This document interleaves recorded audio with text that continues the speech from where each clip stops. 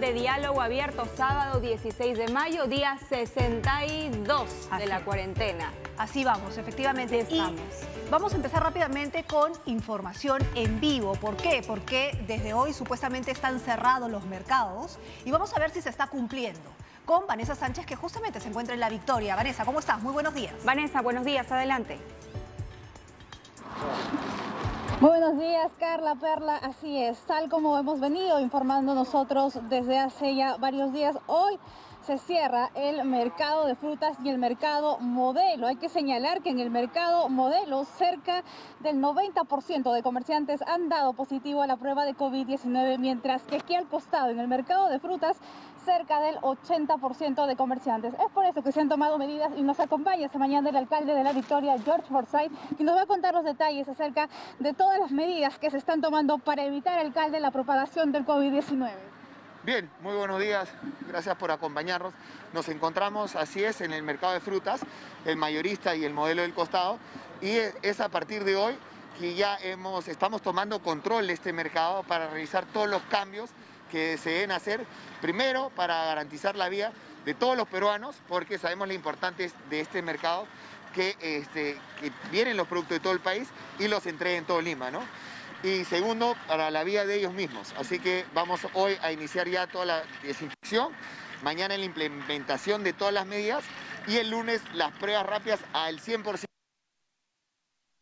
acuerdos con los que se ha llegado con los comerciantes, tanto del mercado modelo como del mercado de frutas, porque yo imagino que hay, hay algunos quienes no se han mostrado conformes y, con estas disposiciones que se están tomando. Sí, yo creo que lo que se ha logrado acá va a servir de ejemplo para, para muchos mercados, porque se ha puesto de acuerdo, bueno, el gobierno central, porque comprenderán por la envergadura de este mercado, lo hemos coordinado el ministerial, el gobierno eh, el gobierno local, el alcalde, el central y los propios comerciantes. Y esa es la parte más importante. Acá tenemos un acta, ¿no? Donde lo firman cada uno de los, eh, de los asociados, ¿no? O de, los presidentes, perdón, de las distintas asociaciones en los cuales ellos se comprometen a realizar estos, estos cambios, ¿no? Entonces ellos mismos con su dinero están haciendo las rápidas, están instalando todas las y sigue trabajar un solo día, no han responsabilidad con todo el resto de compatriotas que la están asumiendo y eso es algo digno de felicitar. A esta hora de la mañana ya se ha cerrado, alcalde, ambos mercados. ¿En qué, en qué etapa se encuentra eso?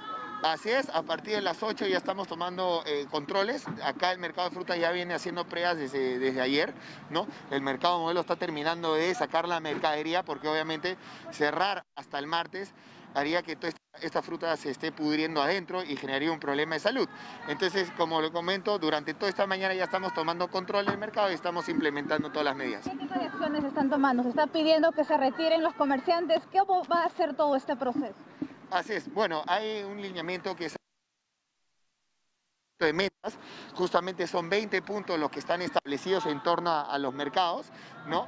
Desde el, delimitado del piso, el aforo ya solo es el 30%, la señalética, ventilación, todo ese tipo de, este, digamos, lineamientos ha declarado producción y esos son los que se están implementando con ayuda de la municipalidad, pero en este caso no estamos solos, también está el Ministerio, de Agricultura y también el Ministerio de Producción. Alcalde, hay reportes de que alrededores del mercado se estarían instalando algunos comerciantes no respetando las disposiciones. ¿Qué medidas se van a tomar al respecto? Bueno, lamentablemente pues siempre están los vivos, ¿no? Y lo vemos eh, eh, día a día y son con quienes tenemos que luchar constantemente está la policía, está el ejército con nosotros y lo más importante está nuestra área de fiscalización que va a estar recorriendo todas las zonas para evitar justamente eso. ¿no? Ya saben que en la victoria el comercio ambulatorio es prohibido. ¿Cuál va, a ser el, ¿Cuál va a ser el tipo de control alrededor? Hemos visto que se han colocado algunas rejas, está el personal militar, está el personal policial. ¿Cómo se va a dar este control? Bueno, nosotros ya, ya hace un tiempo hemos tomado control porque acá existían muchas mafias, ¿no? Pero ahora tenemos que extenderlo un poco por el cierre de dos mercados tan importantes y todo lo que puede haber alrededor. Pero vuelvo a decirlo, Contamos con el gran apoyo de la policía y las Fuerzas Armadas que nos han ayudado muchísimo y que nos van a ayudar a mantener el control y que esto no corra hacia otros sectores. alcalde, que ya están llegando, ya van a empezar justamente en este momento a las labores de desinfección de ambos mercados. Sí, así es. Este es, este es el equipo y que también nos está apoyando en, unos instantes, ¿no? más adelante, el Ministerio de Agricultura, que también está trayendo su producto, porque es importante entender que este no es un mercado cualquiera, no es el mercado del barrio, no es el mercado de la esquina, es el mercado mayorista. Más de 2.000 toneladas han tenido que ser retiradas ¿no? de producto para que no se malore y se pudre y cree un problema de salud. Entonces, ha sido muy complejo, pero gracias a ese trabajo en conjunto se ha buscado la solución ideal. De la misma manera se está trabajando con otros mercados, es el caso de La Paradita, ¿no? Un mercado lleno de ambulantes, un mercado informal. ¿Qué acciones están tomando al respecto? Porque tengo entendido que están pensando en el traslado hacia Santa Anita. ¿Cómo van las coordinaciones al respecto? Bueno, te comento en, en torno a ello. Muchos creen que La Parada es un mercado, ¿no? Pero no hay infraestructura alguna, son casi 20 cuadras de calle, de vía pública, entonces el contagio ahí realmente es terrible. Nosotros hemos, eh, hace dos meses, desde el mismo punto, ustedes nos han acompañado, hemos dicho que por favor tomemos acciones, ¿no? Yo creo que eh, es importante porque al fin, gracias a un pedido que le hicimos al Premier, ha convocado una reunión el lunes, entonces ahora ya, ya vemos que se está trabajando en buscar la solución. Nosotros hemos propuesto Santanita, ¿no? Lima propuso en su momento Barbones, San Cosme, al igual que Santanita también propuso San Cosme, pero es una comisión técnica que se creó para que visite todos los lugares y es esa comisión técnica que arrojó el resultado que Santanita es la ubicación ideal. Por eso es que también Jorge ya, eh, ya vio que era, es lo correcto y también está apoyando ya esta medida, entonces ahora ya estamos todos trabajando en conjunto para que sea esto, porque hay que entender, mientras el virus sea un poco infeccioso en cualquier distrito, estamos todos complicados, estamos todos comprometidos. ¿Por qué? porque el distrito, el, perdón, el virus no conoce de fronteras, ¿no? El distrito atraviesa cualquier, cualquier distrito, nivel socioeconómico, no respeta nada. Por eso lo que las soluciones que presentemos deben ser con visión nacional las declaraciones del alcalde de la Victoria, George Forsyth, quien está contando los detalles acerca de este cierre, tanto del mercado de frutas como el mercado modelo que se encuentra a pocos metros de este lugar. Es una intervención que se hace de manera conjunta y coordinada son ya los fumigadores los que han llegado hasta este principal centro de abastecimiento de frutas ubicado en La Victoria para iniciar con estos trabajos de desinfección. Hay que recordar, compañeras, que las cifras han sido bastante preocupantes. Aquí en el mercado de frutas, cerca del 80% de comerciantes han dado positivo a la prueba de COVID-19 y en el mercado modelos, eh, modelos cerca del 90%. Es por este motivo que se están realizando este tipo de labores para evitar la propagación del coronavirus y evitar de esta manera que muchas más personas se contagien, porque hay que señalar que vienen de diferentes distritos a abastecerse de las frutas ¿no? que llegan de diferentes regiones del país.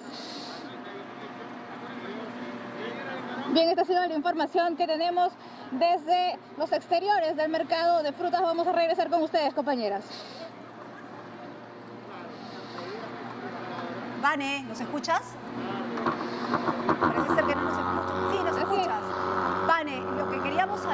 Si bien le has preguntado al, alcalde eh, por los ambulantes que están a los alrededores y él ha dicho que va a fiscalizar, ¿qué es lo que va a pasar con ellos a la hora de los operativos de fiscalización? O sea, ¿dónde los van a llevar? ¿Los van a levantar? ¿Les van a quitar sus productos? ¿Qué va a pasar con ellos?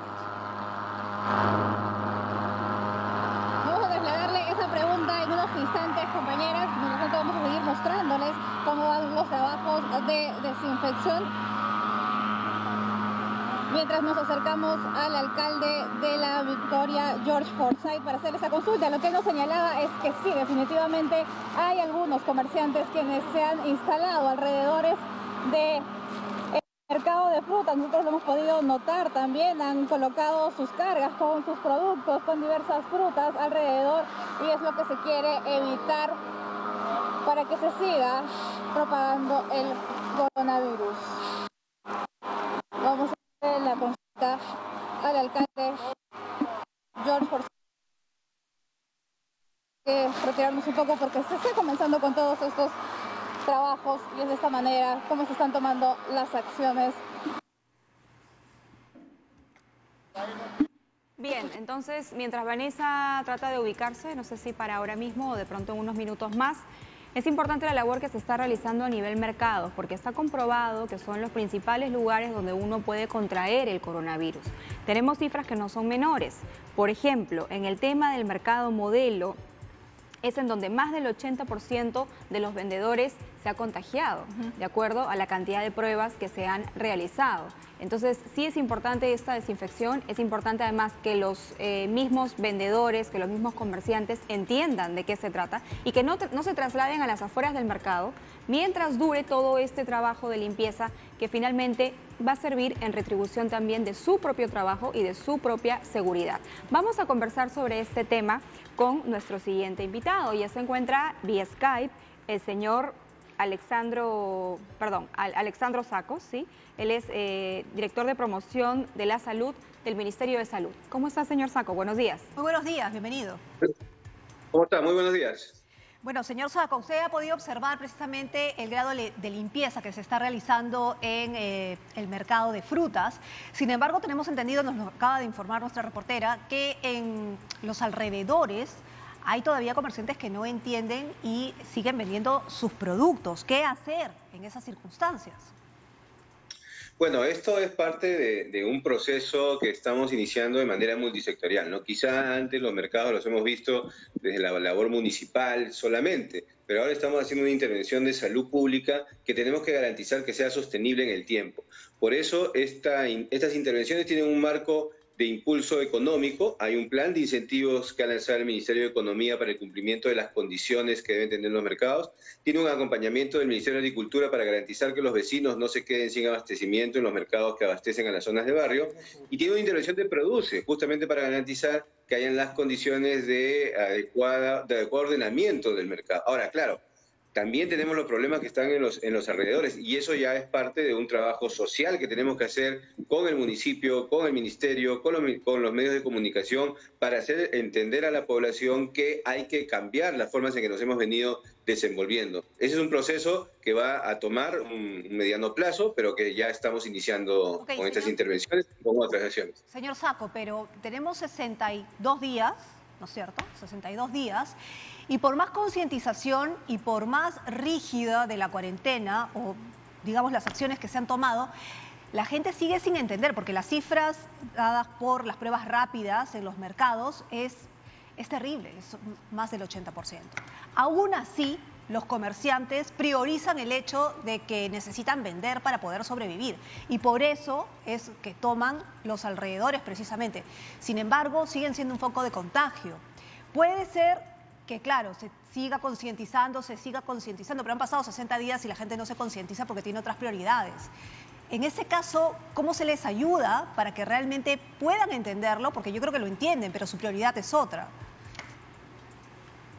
Bueno, claro, o sea, esto, el, proceso de formación de nuestros hábitos y costumbres eh, se construye en décadas y no cientos de años, ¿no? Y entonces también estas situaciones nos hacen visibilizar las brechas y carencias que tenemos. Por eso, en el caso de las personas que salen eh, positivas, el plan Te Cuido Perú, que lidera el Ministerio de Defensa, les procura la alimentación para que estas personas puedan tener algún grado, algún grado de apoyo. Se les hace el seguimiento también desde, desde el Ministerio de Salud, pero usted entenderá que este es un tema que va más allá de un solo ministerio y la magnitud de la intervención en los mercados va a tener que contar con el apoyo de todos los sectores. Es un asunto que tiene sus complejidades y en el cual tenemos que ponerle mucha fuerza y cada caso es individual, cada mercado tiene una característica distinta. La para, el, el mercado de frutas es un gran abastecedor del comercio a nivel de todo Lima, por eso la intervención que hemos tenido en las reuniones que hemos tenido con el alcalde también hemos conversado con los mismos comerciantes, los dirigentes de los comerciantes que ya están tomando la cosa mucho más en serio, pero hay otra parte que es la que está afuera y en la cual tenemos que eh, generar estrategias que vayan a ellos también. ¿no? es un asunto que tenga una receta, sino que se construye en el día a día. Señor Saco, nos acaba de comentar que este es un plan multisectorial que se va a ejecutar a mediano plazo. Yo quisiera pedirle que sea mucho más específico y nos pueda dar detalles respecto de cómo se va a desarrollar esta planificación. Es decir, cuántos mercados están involucrados en ese, eh, digamos, en ese sistema de desinfección, durante cuánto tiempo se va a llevar a cabo, cuál es la segunda etapa eh, van a abrir, bajo qué condiciones, cómo va a poder entrar uno al mercado, a cuánto se va a reducir la capacidad de aforo, todos estos detalles para finalmente entender muchísimo mejor cómo va a ser la realidad eh, una vez que se haya empezado, como lo hemos visto hace unos instantes, con la desinfección. Sí, la intervención en los mercados tiene dos, dos etapas bien marcadas. Una, que es la inicial que estamos trabajando esta semana y la semana que viene en 36 mercados que son los que se han identificado que, están en las zonas más calientes de Lima y del país. Estas intervenciones, como yo mencionaba, están hechas con el apoyo del Ministerio de Defensa, el Ministerio del Interior, Agricultura, Produce, nosotros y el municipio, para entrar a estos que son los que están en las zonas más calientes y que están siendo focos de infección. El municipio toma o no la decisión de cerrar un mercado, eso también tiene que quedar bastante claro. Solo el municipio es quien puede determinar el cierre de un mercado. En el caso del mercado de frutas ya se ha determinado que desde hoy hasta el día martes va a tener todo este proceso para, uno, la desinfección a profundidad y otro, el inicio de la adecuación de la señalética y de los espacios. Pero ahí no queda el asunto, sino que hay un, plazo mediano, bueno, no mediano, corto también, de alrededor de un mes, que tiene que ver con el programa de incentivos que ha generado el Ministerio de Economía el decreto supremo 099. ¿Qué implica eso? En ese plan ya se establecen ahí sí las condiciones específicas que tienen que tener los mercados en un periodo de tiempo que, va hasta el 31 hasta el 31 de mayo, tanto en distancia mínima para las personas, equipamiento y seguridad, limpieza y desinfección, gestión de residuos sólidos y lo más importante quizá, la gestión del mercado en el distrito y la conformación de un comité con el municipio, con el sector salud y con los comerciantes y así generar progresivamente las adecuaciones que van a tener que eh, ir desde los espacios adecuados, desde los lugares donde se hace y se entregan los alimentos, la señalética y todo el proceso de desinfección y cuidado de las personas y aforos también, los tiempos, los tiempos en que cada uno va a ir ingresando. Esta es la propuesta que se está trabajando y de hecho en cada característica, porque son 380 mercados. La lista está identificada aquí, son los 380 mercados eh, iniciales en los cuales se va a trabajar todo ello. El Perú tiene muchísimos más mercados, pero se ha establecido una lista de prioritarios. Bien, señor Saco, nos dice que en estas primeras dos semanas son 36 mercados a nivel nacional. Quisiera que por favor nos especifique en qué ciudades y en qué lugares, además de Lima, se está llevando a cabo este protocolo. Y se me viene a la mente también, por ejemplo, el mercado de Belén en Iquitos, que se convirtió en un foco sumamente eh, importante, un foco infeccioso sumamente importante y que ahora está completamente cerrado y que incluso han demolido varios puestos precarios que se habían colocado en este lugar. Sí, la lista de 36 mercados tiene eh, en Chimbote dos mercados, Mercado 2 de Mayo, Mercado La Perla, aparte de los de Lima y Callao. Ancash, Chimbote, Arequipa, el Mercado José Luis Bustamante y Rivero, la Libertad tiene dos mercados, el mercado de Hermelinda y el mercado municipal La Unión. Lambayeque tiene el mercado modelo, el mercado Mochoqueque y en, Piura eh, dos más, Tacna y Ucayali. Estos son los mercados que se han priorizado en esta primera etapa. En Iquitos, no. en Iquitos no, entonces. No, la priorización de esos 36 no está en el Iquitos por las características particulares que tiene el de, el Iquitos ha tomado esta decisión, aparte ya está cerrado, pero ahí, Iquitos es un caso particular. También tenemos que entender que no es lo mismo la, la, pandemia en Lima que en el norte. En el norte tenemos un tipo de pandemia más relacionada a Ecuador y el sólido norte. En Lima tenemos otro tipo de pandemia, una mega urbe. En el sur la pandemia no está tan expandida. Iquitos es un foco particular. No es una pandemia dinámica a la cual hay que entender de ese modo. ¿Y qué se ha pensado entonces en concreto para Iquitos? Le pregunto porque es una ciudad, al igual eh, que varias del norte, que están presentando serios problemas en cuanto al control de la pandemia, el abastecimiento de medicinas y la atención médica. Pero, ¿qué se ha pensado respecto de Iquitos? Hemos visto que las autoridades locales han tomado eh, medidas respecto al mercado de Belén. ¿Cuál es el proyecto en esta ciudad?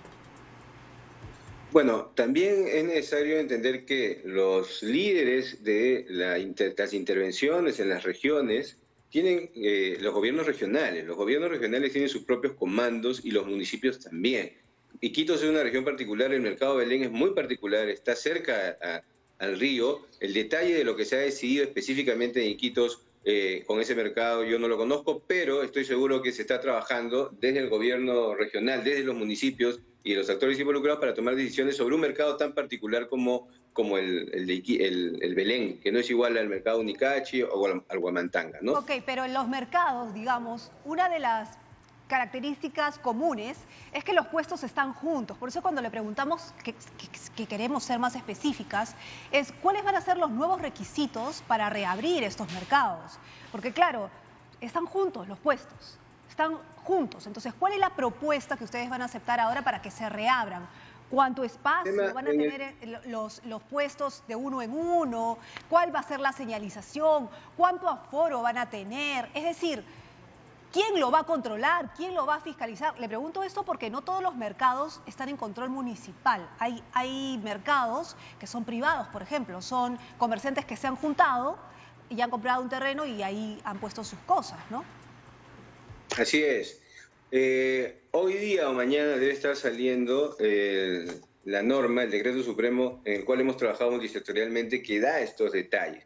Y efectivamente, se va a tener, en ese decreto supremo se va a reflejar el tema del el aforo, el tema de la distancia.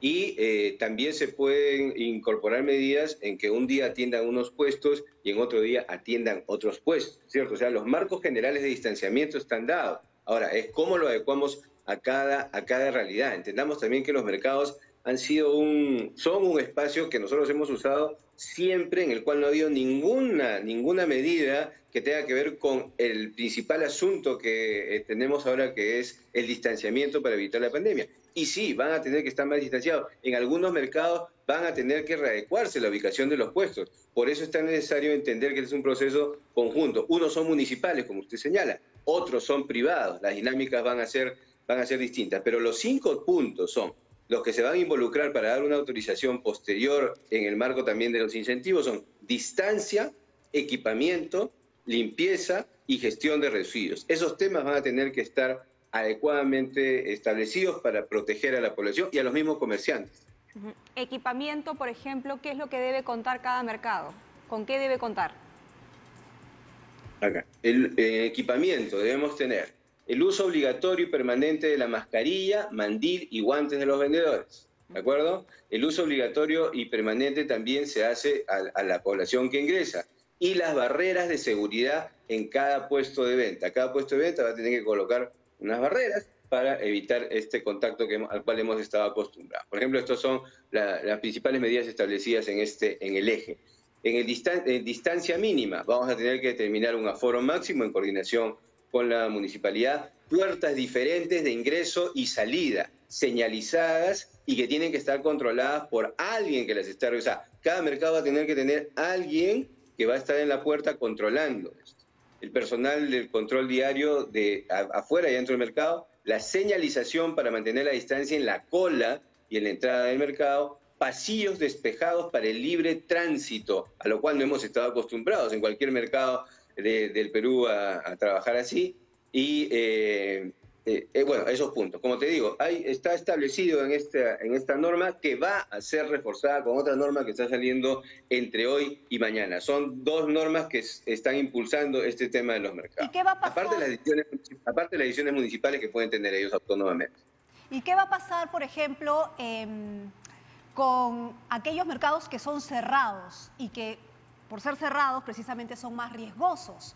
Ahora eh, se está hablando de que los mercados sean abiertos, ¿no? Tipo ferias, pero ¿qué va a pasar con aquellos que ya tienen locales? En el caso de los pequeños comerciantes, por ejemplo, que han comprado o alquilan eh, locales para estar ellos de manera privada.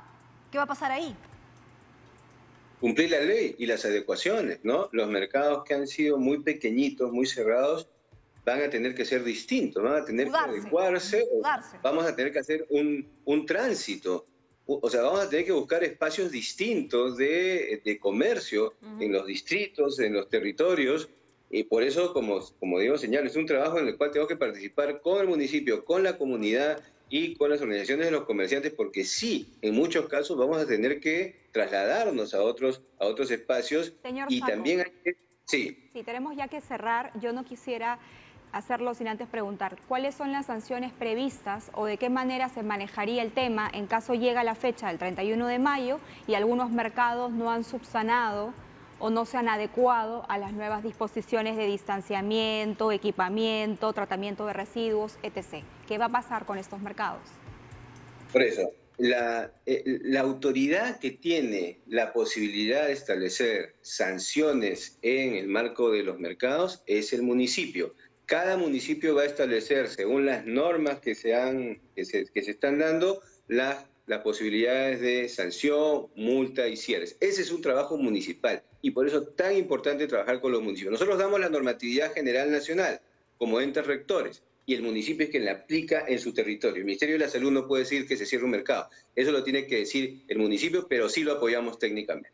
Muy bien. Muy bien, muchísimas gracias, eh, señor Saco. Estábamos conversando con Alexandro Saco, dirección, eh, director, ¿no? De la Dirección de Promoción de Salud eh, del MINSA, hablando precisamente sobre el tema de los mercados y cómo se va a llevar a cabo las adecuaciones precisamente para seguir con este servicio. Pero vamos a ver la otra cara de la moneda. Vamos a ver qué pasa con los comerciantes ahora. Así es, justamente estamos enlazados ahora con el señor Carlos Aguilar Contreras, él es secretario general de la Confederación de Mercados y Comercio del Perú. Señor Contreras, buenos días. Señor Aguilar, buenos días, bienvenido a Diálogo Abierto. Eh, buenos días amigos de TV Perú y, muchas gracias por la deferencia. ¿no? Bien, ¿ha escuchado usted, eh, digamos, las indicaciones que nos acaba de dar el señor Saco en aras de mantener eh, la salud pública bajo ciertos estándares y de alguna manera evitar estos contagios masivos? Mi, primera pregunta es, ¿está de acuerdo, ¿están de acuerdo ustedes con la fecha del 31 de mayo para adecuarse a estas nuevas disposiciones? Mire, nosotros eh, lamentamos realmente de que en la comisión que ha formado el gobierno no nos hayan invitado a participar, porque nosotros venimos ya no de ahora, hace muchos años atrás, haciendo una serie de planteamientos a los municipios básicamente y que nunca han cumplido. ¿No? Y nosotros yo creo que, si bien es cierto, nosotros eh, prácticamente estamos en primera línea, porque como usted comprenderá, el 80% de las compras al detalle de productos alimenticios se hacen en los mercados. Si los mercados no abastecemos al país, viene una hambruna. Nosotros prácticamente ya tenemos 120 mártires que han fallecido a nivel nacional. Tenemos ¿De qué 1500 120 fallecidos de comerciantes a nivel de todo el país hasta el momento y tenemos 1.500 infectados.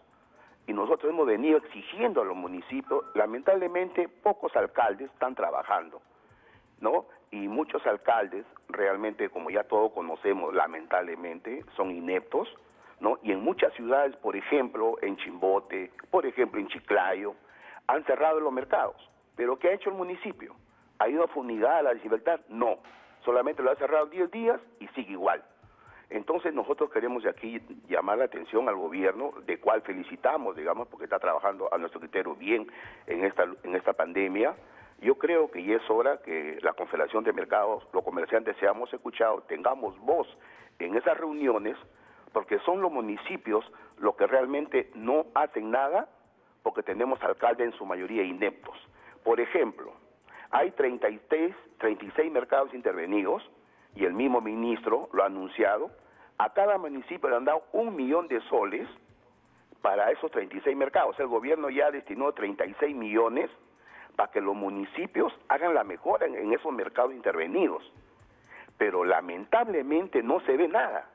Y conociéndolos a muchos alcaldes corruptos, estamos seguros que ese dinero está en otro lado y no se va a invertir en los mercados de abastos. Señor Aguilar, es cierto que puede haber varios cuestionamientos de su parte a los municipios, pero ¿cuál es la responsabilidad de ustedes como comerciantes de haber guardado las medidas de precaución en esta emergencia, sabiendo desde un inicio que se tenía que guardar la distancia, que se tenía que usar máscaras, que se tenía que usar guantes, em, que los puestos no podían estar muy juntos, que debían controlar el aforo es decir, la entrada de los, digamos, de las personas que iban a, comprar.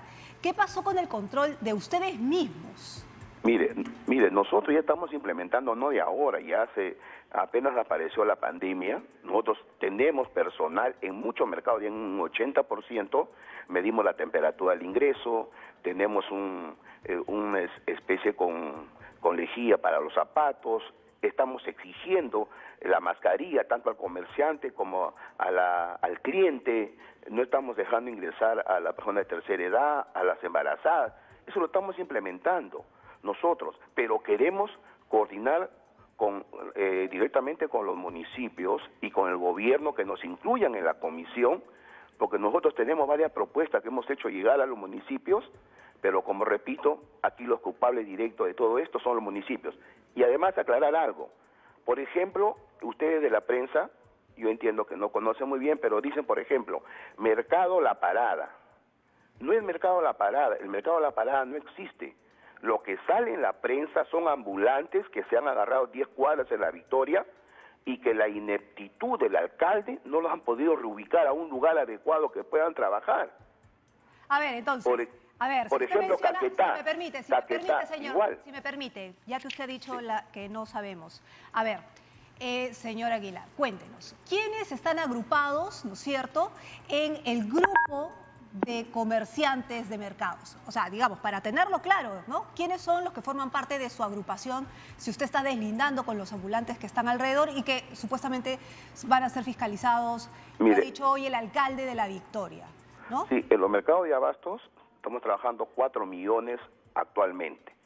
4 millones, de los cuales estamos trabajando la mitad nada más, 2 millones, que son los que venden artículos de primera necesidad, abarrotes, fruta, carne y pollo pero tenemos también dos millones de comerciantes que ya hemos quebrado. Los que venden artículos, por ejemplo, jugo, comida, eh, mercadería, zapatería y giros que no son de primera necesidad, que ya estamos 70 días sin tener ni un sol y hemos quebrado. ¿Todos formales? Hemos quebrado. ¿Todos formales? Lógico, de mercados, de los mercados de abastos. Entonces, eh, y no hemos recibido bono, ni un tipo de apoyo, pero aún así estamos comiendo nuestro capital y no nos amilanamos, esperemos que el gobierno, repito, nos incluya en la comisión, porque si solamente se hace una comisión de arriba hacia abajo, sin escuchar hacia dónde van los objetivos, puede fracasar. y nosotros ya y nosotros vamos a tener una un congreso virtual en los próximos días para tomar una serie de acciones en contra de algunas medidas que vemos que están perjudicando a los comerciantes de los mercados. ¿Cuáles son esas medidas que los perjudican? Por ejemplo, mire, en Chimbote tenemos un alcalde briseño, un alcalde inepto, ¿no? Que, que se está aprovechando de esta coyuntura para cerrar mercados que a él le da la gana o, tiene una cosa personal con los dirigentes, cuando los mercados están cumpliendo. En el caso del mercado del progreso, por ejemplo, cumple, tiene cámara de desinfección al ingreso. Mide tiene un personal que mide la temperatura, todos están con eh, su tapaboca, tienen sus guantes, están haciendo ellos mismos con su dinero cada dos días una desinfección en todo el mercado. Vete, señor, porque se le ocurre, 30 días te cierro y sin ninguna explicación. Entonces, que estas medidas no den pie al abuso de autoridades, alcaldes corruptas que puedan perjudicar al comerciante. Nosotros vamos a estar pero, atentos. Pero, pero, eh, señor, pero ya salieron o van a salir ya eh, los requisitos para que ustedes se puedan adecuar, es decir, distancia, equipamiento, limpieza, gestión, en fin, que es lo que hemos hablado con nuestro anterior invitado. Y queda claro, lo que queremos saber es, ¿ustedes están dispuestos a cumplirlas? Nosotros nos... ¿Sí, señora Aguilar? Sí, nosotros no solamente eh, no es que estamos dispuestos, estamos haciéndolo. Estamos haciendo en todo el país pero lamentablemente eh, tenemos pues alguna deficiencia con autoridades que en lugar de ayudar estropean el, trabajo, ¿no?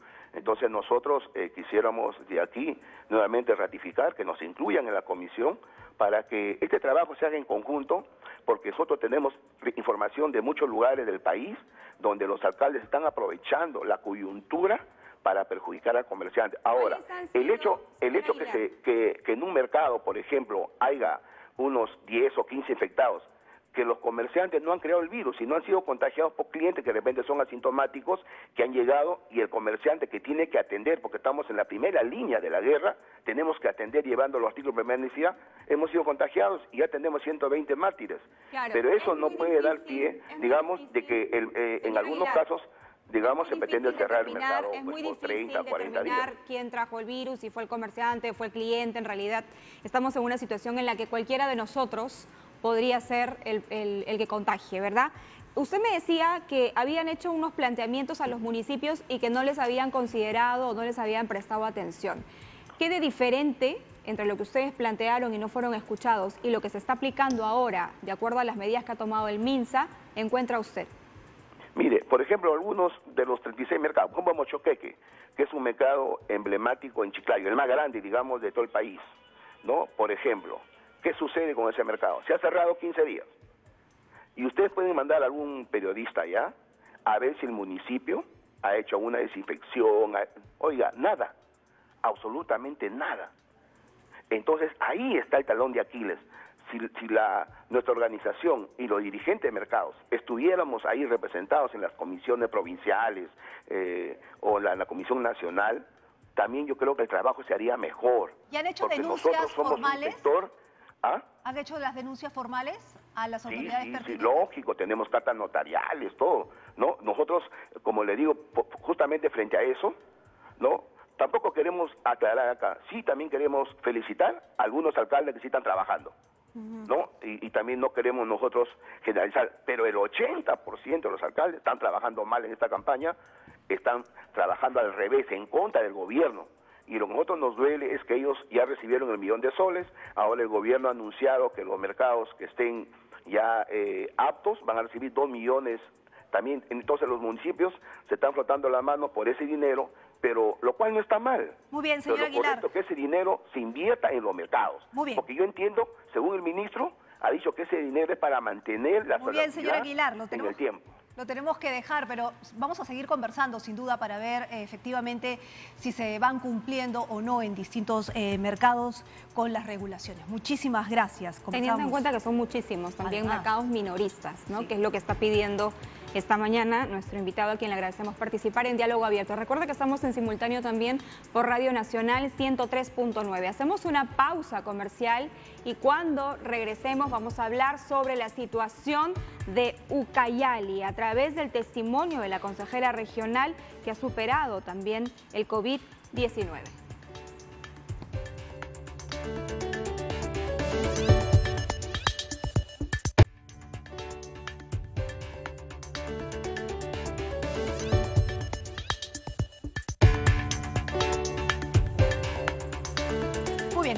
Aquí en Diálogo Abierto y como ya lo habíamos mencionado, vamos a hablar con la consejera de Ucayali. Vamos a hablar de la situación de Ucayali, además, que está complicada. Y eh, con la consejera porque ella fue contagiada de COVID y nos va a contar seguramente su experiencia. Jessica Lisbeth Nava Sánchez, consejera regional de Ucayali. ¿Cómo está? Buenos días. Buenos días, ¿qué tal? Bienvenida. Buenos días, buenos días. Realmente eh, gracias eh, por preocuparse de Ucayali y aprovecho en saludar a toda esa linda gente que nos está viendo en estos momentos sí, realmente muy contenta por a través de ustedes poder este, transmitir, hacer saber a toda la población no solamente lo que pasa aquí en la región Ucayali, sino también lo que estamos haciendo. Así es. ¿Cómo está de salud en todo caso, en principio? Sí, yo este, he dado positivo COVID. Eh, la primera semana estuve muy mal, realmente me asusté eh, casi me mata más el susto de saber que estoy con COVID que el mismo, que el mismo virus.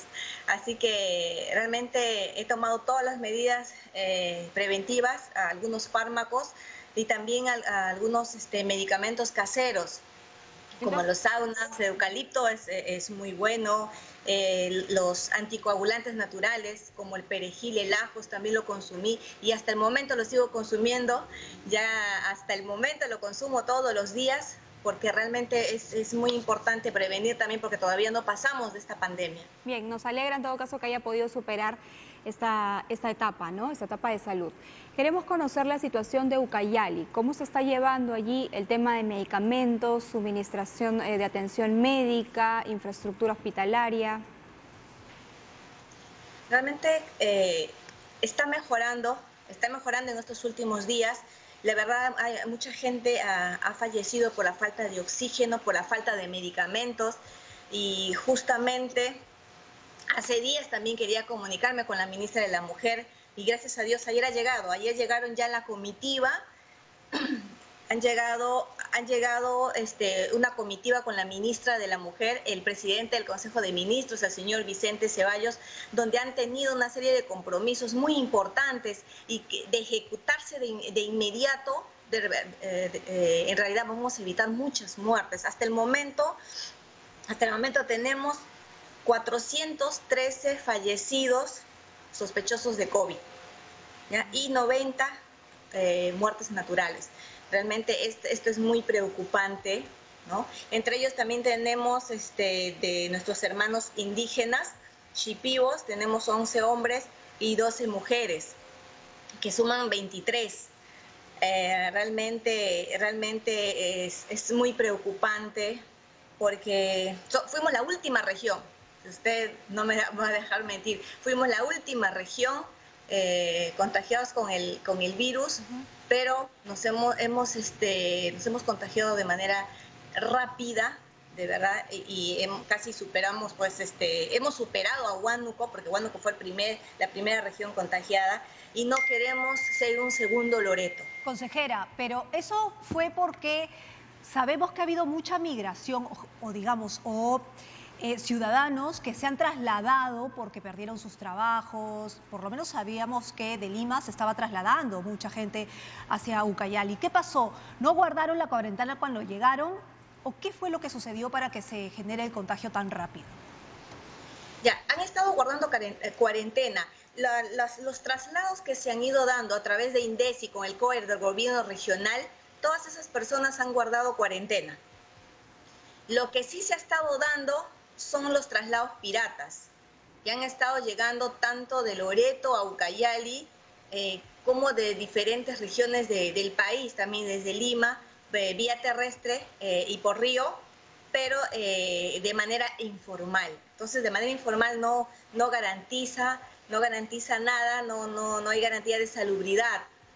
Entonces, sí se ha estado dando hasta el momento, porque a mí me llaman para decirme, señora, va, va a salir este, un, barco pirata de Loreto, por ejemplo, y está llevando infectados. Entonces, de esa, de esa manera llegó el virus aquí en la región Ucayali.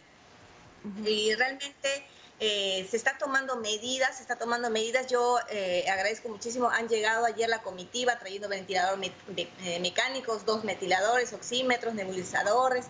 Trajeron también mascarillas que repartieron también a la comunidad nativa San Francisco, porque ya hay infectados ahí también en nuestra comunidad nativa. Trajeron chaquetas, descartables, pero aún falta, aún falta más medicamentos. El medicamento creo es la nexoparina, por falta de nexoparina, que está carísimo también acá en, la, en, las boticas, si es que se encuentra porque está escaso. ¿A cuánto es lo que, lo que salva la vida? Están vendiendo de 120 soles a 150, pero tienen que, tienen que inyectarse de, de 5 a 7 veces, si no me equivoco, entonces una persona humilde no tiene. Ayer acaba de fallecer la presidenta de, el Club de Madres de un asentamiento humano Húsares del Perú, justamente por falta de ese medicamento. Entonces, lo que encontramos más fácilmente es la birmetina, la citromecina también está muy escaso, lo están vendiendo hasta 8 soles inclusive, la unidad de, la citromicina. Entonces, realmente es un caos. Las, las farmacias y boticas lo están vendiendo demasiado caro. Es salud y, y tanto es salud como la dirección de los hospitales no tienen ese medicamento. en ese sentido, están muriendo las personas por, por no este, administrarse los fármacos a tiempo y también por falta de oxígeno.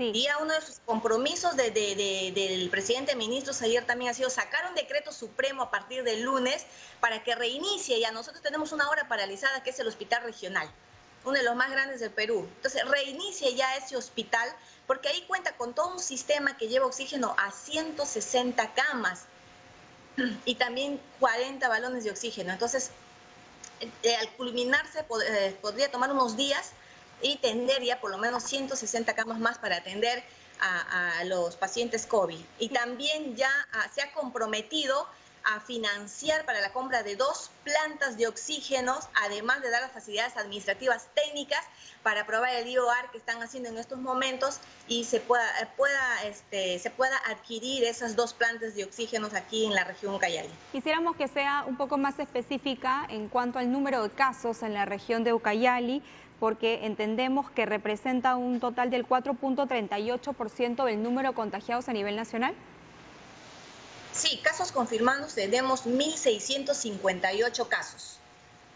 ¿Y 1.658 casos, 413 fallecidos sospechosos COVID y 90 fallecidos eh, eh, por otras enfermedades. Ese es el, hasta el 15 de mayo, el reporte hasta el 15 de mayo eh, acá en la región Ucayali. ¿El reporte de quién, consejera? De la Dirección Regional de Salud, de acá de, de Ucayali. Muy bien, entonces, para ir cerrando, ¿qué es lo que más se necesita en su región? Necesitamos medicamentos, oxígenos que ya, eh, que con este, que de, de, ah, eh, si cumple este compromiso que hizo el, el, presidente del Consejo de Ministros, el señor Vicente Ceballos, en pocos días vamos a poder solucionar el tema del oxígeno, porque en estos momentos están falleciendo por tema de oxígenos y, fármacos. También va, este, a promocionar los puentes aéreos para trasladar medicamentos y justamente también este tema de oxígeno. Esto vamos a mandar los balones vacíos y nos van a mandar eh, los balones con oxígeno. Entonces, espero que realmente se, eh, pronto se pueda concretizar todos estos compromisos. Y también tenemos, hermanos ucayalinos, tenemos 316 varados en, la, en, Loreto, en Iquitos. Y ahí va un llamado, un llamado de solidaridad, por favor, a las autoridades, al gobierno regional, municipalidades de, de, Iquitos, que, que atiendan, apoyen a estos hermanos. Ok, muy bien, consejera. Muchísimas gracias por haber conversado con, nosotras en diálogo abierto y darnos a conocer cuál es la situación de Ucayali y le decíamos pronta mejoría, total recuperación. Así es. Ha sido Jessica Navas, consejera regional. Estamos en simultáneo por Nacional 103.9. Vamos a ir a una pausa comercial y cuando regresemos vamos a conversar sobre esta normativa aprobada en el Congreso de la República para la formalización de los taxis colectivos, algo que ha generado bastante polémica. Regresemos.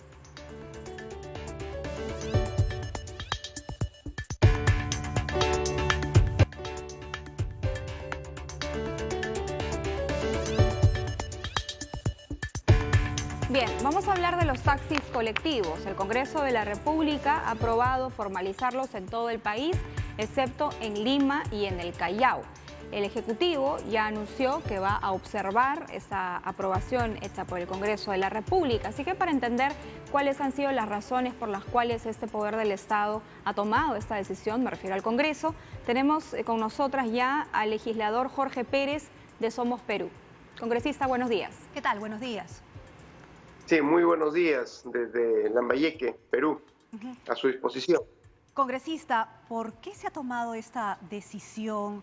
Eh, exceptuando eh, Lima y Callao, por supuesto, ¿no? Teniendo en cuenta que hay grandes ciudades como la misma Lambayeque, ¿no es cierto?, que sufre de este tráfico terrible y ahora teniendo a estos eh, colectivos taxi va a agravar la situación, sobre todo en emergencia, ¿no? Que lo que se busca es, digamos, limpiar un poco la calle.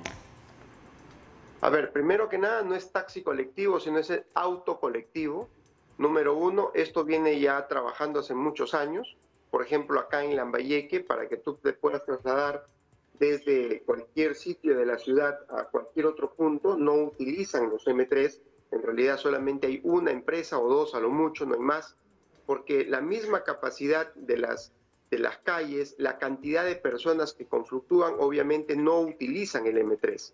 Se les vuelve muy soso, muy, eh, por ejemplo, para que te vayas de un, de, desde, desde Chiclayo a Uyotún, ¿cuándo lo vas a llenar? Cuando lo que tú necesitas justamente es llegar de repente en dos horas o tres horas. Ok, congresista, para dejar algo claro, algo claro. Cuando se inventa, o mejor dicho, no se inventa, cuando se eh, coge esta modalidad del auto, como usted le dice, no taxi, sino auto colectivo, en algunas zonas de nuestro país es precisamente porque no hay otra forma de movilizarse y esta necesidad hace precisamente acudir a esta modalidad. Pero usted está diciendo que en Lambayeque sí hay una forma de transportarse. O sea, es decir, sí hay, pero además de eso se va a sumar la del auto colectivo porque es muy soso trasladarse en el modo de transporte que ya existe y que es legal. No, no, no, perdón. De repente no me entendió. Acá no existe una, una modalidad mayor a la M2 lo que hay es M1 y M2. O sea, vale decir el, el, auto colectivo y las camionetas rurales. Eso es lo que existe, porque eh, eh, es, lo que hay a nivel nacional. Por ejemplo, si usted quiere irse desde Chiclayo hasta Ferreñafe, utiliza el M2 o también utiliza el M1, que es el auto colectivo o la camioneta rural. No hay M3. Entonces, es, es simple. ¿Y qué, ¿Y qué es lo que pasa con esto? De que ellos han estado trabajando en la informalidad prácticamente. Entonces, eh, lo que se está trabajando ahora es la formalización. Si justamente, ¿qué es lo que a nosotros nos molesta? Nos molesta que los autocolectivos estén en la calle, ¿de acuerdo? Ahora ya van a tener formalización y significa que ahora pueden tener un paradero. Van a tener que, tener que organizarse para tener un paradero y ese paradero tiene que tener todas las medidas de seguridad. Congresista, vivimos en épocas de coronavirus, de COVID-19, y se está tomando todas las precauciones desde distintos sectores, tanto de la sociedad civil como de las autoridades, para que no se propaguen mucho más estos contagios. Por la naturaleza del taxi o vehículo colectivo, como usted lo llama, van a viajar varias personas al interior de un vehículo bastante cerca el uno del otro. ¿Cómo se podría evitar en ese sentido? que se conviertan en focos de contagio? A ver, la letalidad del coronavirus, por si acaso, está en la alta, en la alta contaminación y recontaminación del virus. Por lo tanto, los M3 están más propensos a alta letalidad que el M1 y M2. ¿Qué lo doy un ejemplo. M3, por favor, para que podamos entender que están atrás de todo este, de, querer tumbarse esta ley. Usted nos está diciendo que hay más posibilidades de contagiarse en un bus, tomando las medidas, dejando un asiento libre, el otro ocupado, uno libre, que en un taxi donde van todos juntos. A ver, si usted va a un mercado, la cantidad de letalidad es mucho más grande que irse a una bodega. Pero no compare así. yo quisiera que, por favor, me conteste la pregunta. Usted me está diciendo que hay más posibilidad de contagio en un bus, que es grande, donde se toman las distancias, por lo menos es lo que se está proponiendo, que no vayan dos personas juntas en una misma fila de asientos, sino que se respete el metro de distancia. Me está diciendo que aquí hay más posibilidades de contagio que en un auto donde van todos sentados hombro con hombro. Cuando usted abre un auto, las cuatro, los cuatro lunas, el viento circula más que en un, en un bus. Y de eso se trata. Se trata de ventilación, no solamente de estar al lado del, de la persona que tiene el coronavirus. ¿En qué informe, ¿en qué informe, congresista, en qué informe médico, técnico, científico usted sustenta lo que nos está diciendo ahora a nivel nacional? En ese sentido, lo que yo le estoy diciendo es que cuando yo voy a, un, por ejemplo, eh, en un lugar donde tenga más ventilación, la disminución de la carga viral se va a dar, es, es mucho más notoria que en un lugar donde encuentras mucho más volumen, y tienes más, más personas con coronavirus. ¿Sabe que Lambayeque, sabe que Lambayeque es una de las regiones con mayor contagio? Y, y, ojo, y no solamente estamos hablando de que la norma va para Lambayeque, la norma va a nivel nacional, va para todas las regiones salvo Lima y Callao. Pero hay regiones, y eso es tal vez un poco no tener empatía, y es que las otras regiones, como Arequipa, Trujillo u otras regiones más grandes, con más tránsito, sí pueden contagiarse de coronavirus. ¿Por qué no legislar en específico?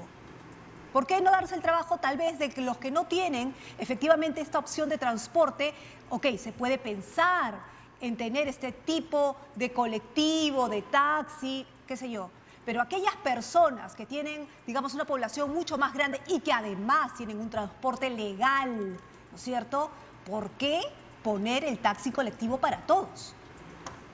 Mire, el auto colectivo llega para los lugares huérfanos, para los lugares donde realmente se necesita. y para eso existe la normatividad. La, normatividad no la vamos a hacer nosotros, lo va a hacer el Ministerio de Transporte y Comunicaciones. Donde existe, donde existe transporte de, por ejemplo, donde se utilizan los buses, ¿de acuerdo? en esa misma ruta no va a existir este taxi colectivo. Eso es lo que eso, eso, tiene la eso se va a normar definitivamente. ¿Eso dice la ley específicamente? ¿Cómo dice usted? No ¿Eso dice la ley específicamente? ¿La ley que ustedes han trabajado lo dice específicamente? Congresista, ¿lo tenemos? No, parece Hemos perdido. A ver, congresista, ¿está con nosotras? Sí. A ver, congresista, sí, podría, por favor, sí. Mire, la, ley tiene muchas cosas buenas, por ejemplo, donde hay lugares que eh, tienes tú, empiezas con un M1 de manera, eso solamente es por tres años, después de los tres años se puede prorrogar si es que no existe otra posibilidad de poder aumentar a un M2 y a un M3. La, la, la, la, ley es, es, muy frágil, es muy, es muy amplia. Al, congresista, usted, congresista, usted es médico de profesión, ¿verdad? Así es, por eso que usted que le hablo acerca de la polución del virus. Ajá, eh, por eso le preguntaba, la ventilación, eh, la ventilación como tal sirve de, de, algo al interior de un taxi colectivo donde se quiera o no, uno se va a rozar con el otro y es justamente lo que se está pidiendo, distanciamiento social. ¿Cuál es la explicación lógica? Mire, si usted en un, un auto entran cuatro personas, vamos a decir, adelante está el chofer, al lado derecho está el copiloto, que viene a ser un, este, una persona que se está transportando, y en la parte de atrás dos personas más, es lo mismo de lo que usted me está hablando de lo otro, de, cualquier otro lugar, simplemente. Eh, a ver, usted está con esta teoría, está yendo de manera contraria a todas las medidas que se están tomando a nivel mundial, congresista. No sé si es consciente de eso. ¿Por qué? Por ejemplo, se está pidiendo que las personas, si van a salir en un vehículo, salgan de a uno. Y ahora usted nos está diciendo que con esta normativa aprobada por el Congreso van a ir cuatro o cinco al interior de un carro. No, pueden ir cuatro, porque esos son los habitáculos destinados para poder tener en un, auto colectivo. Ok, cuatro, pero se da cuenta que es completamente opuesto a, medidas que, a las medidas que se están tomando a nivel mundial?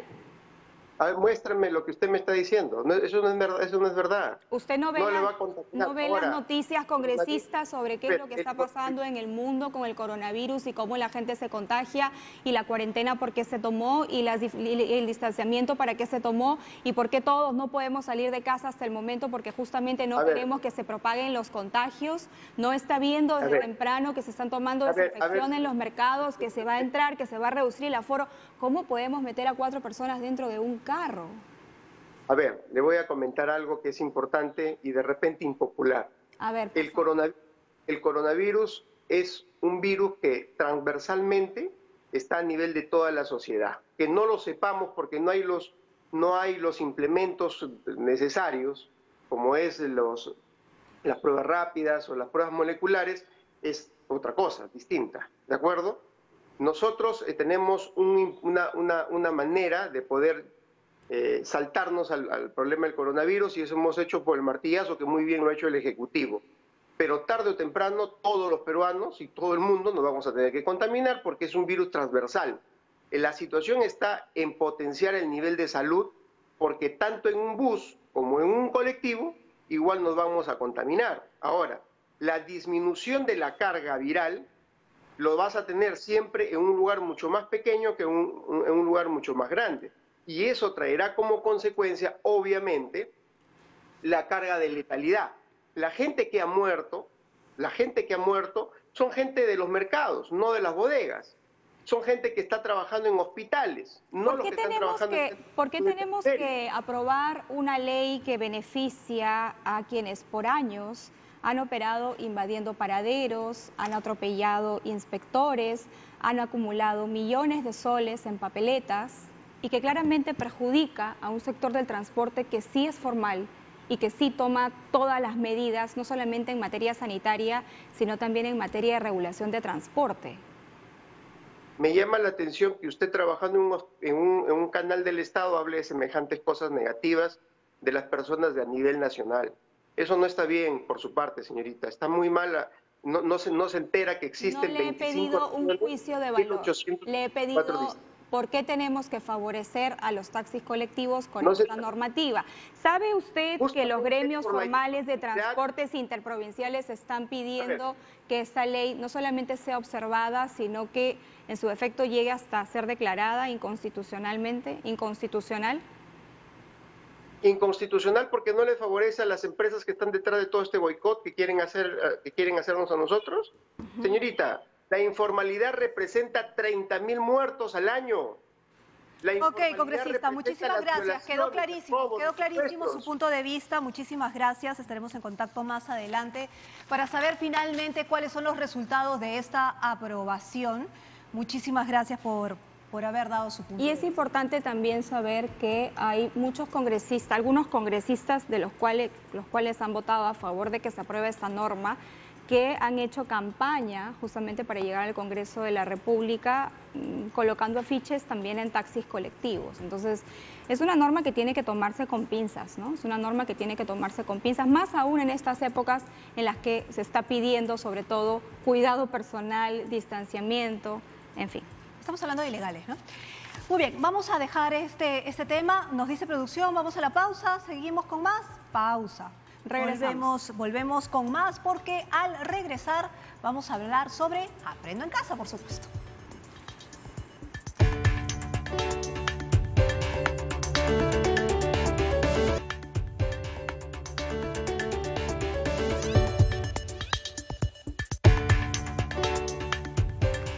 Bien, gracias por estar con nosotras en Diálogo Abierto en, simultáneo por Nacional 103.9. A continuación vamos a hablar de Aprende en Casa. Ya se encuentra con nosotras el ministro de Educación. Buenos días, ministro. Ministro, ¿cómo está? Bienvenido, como cada sábado.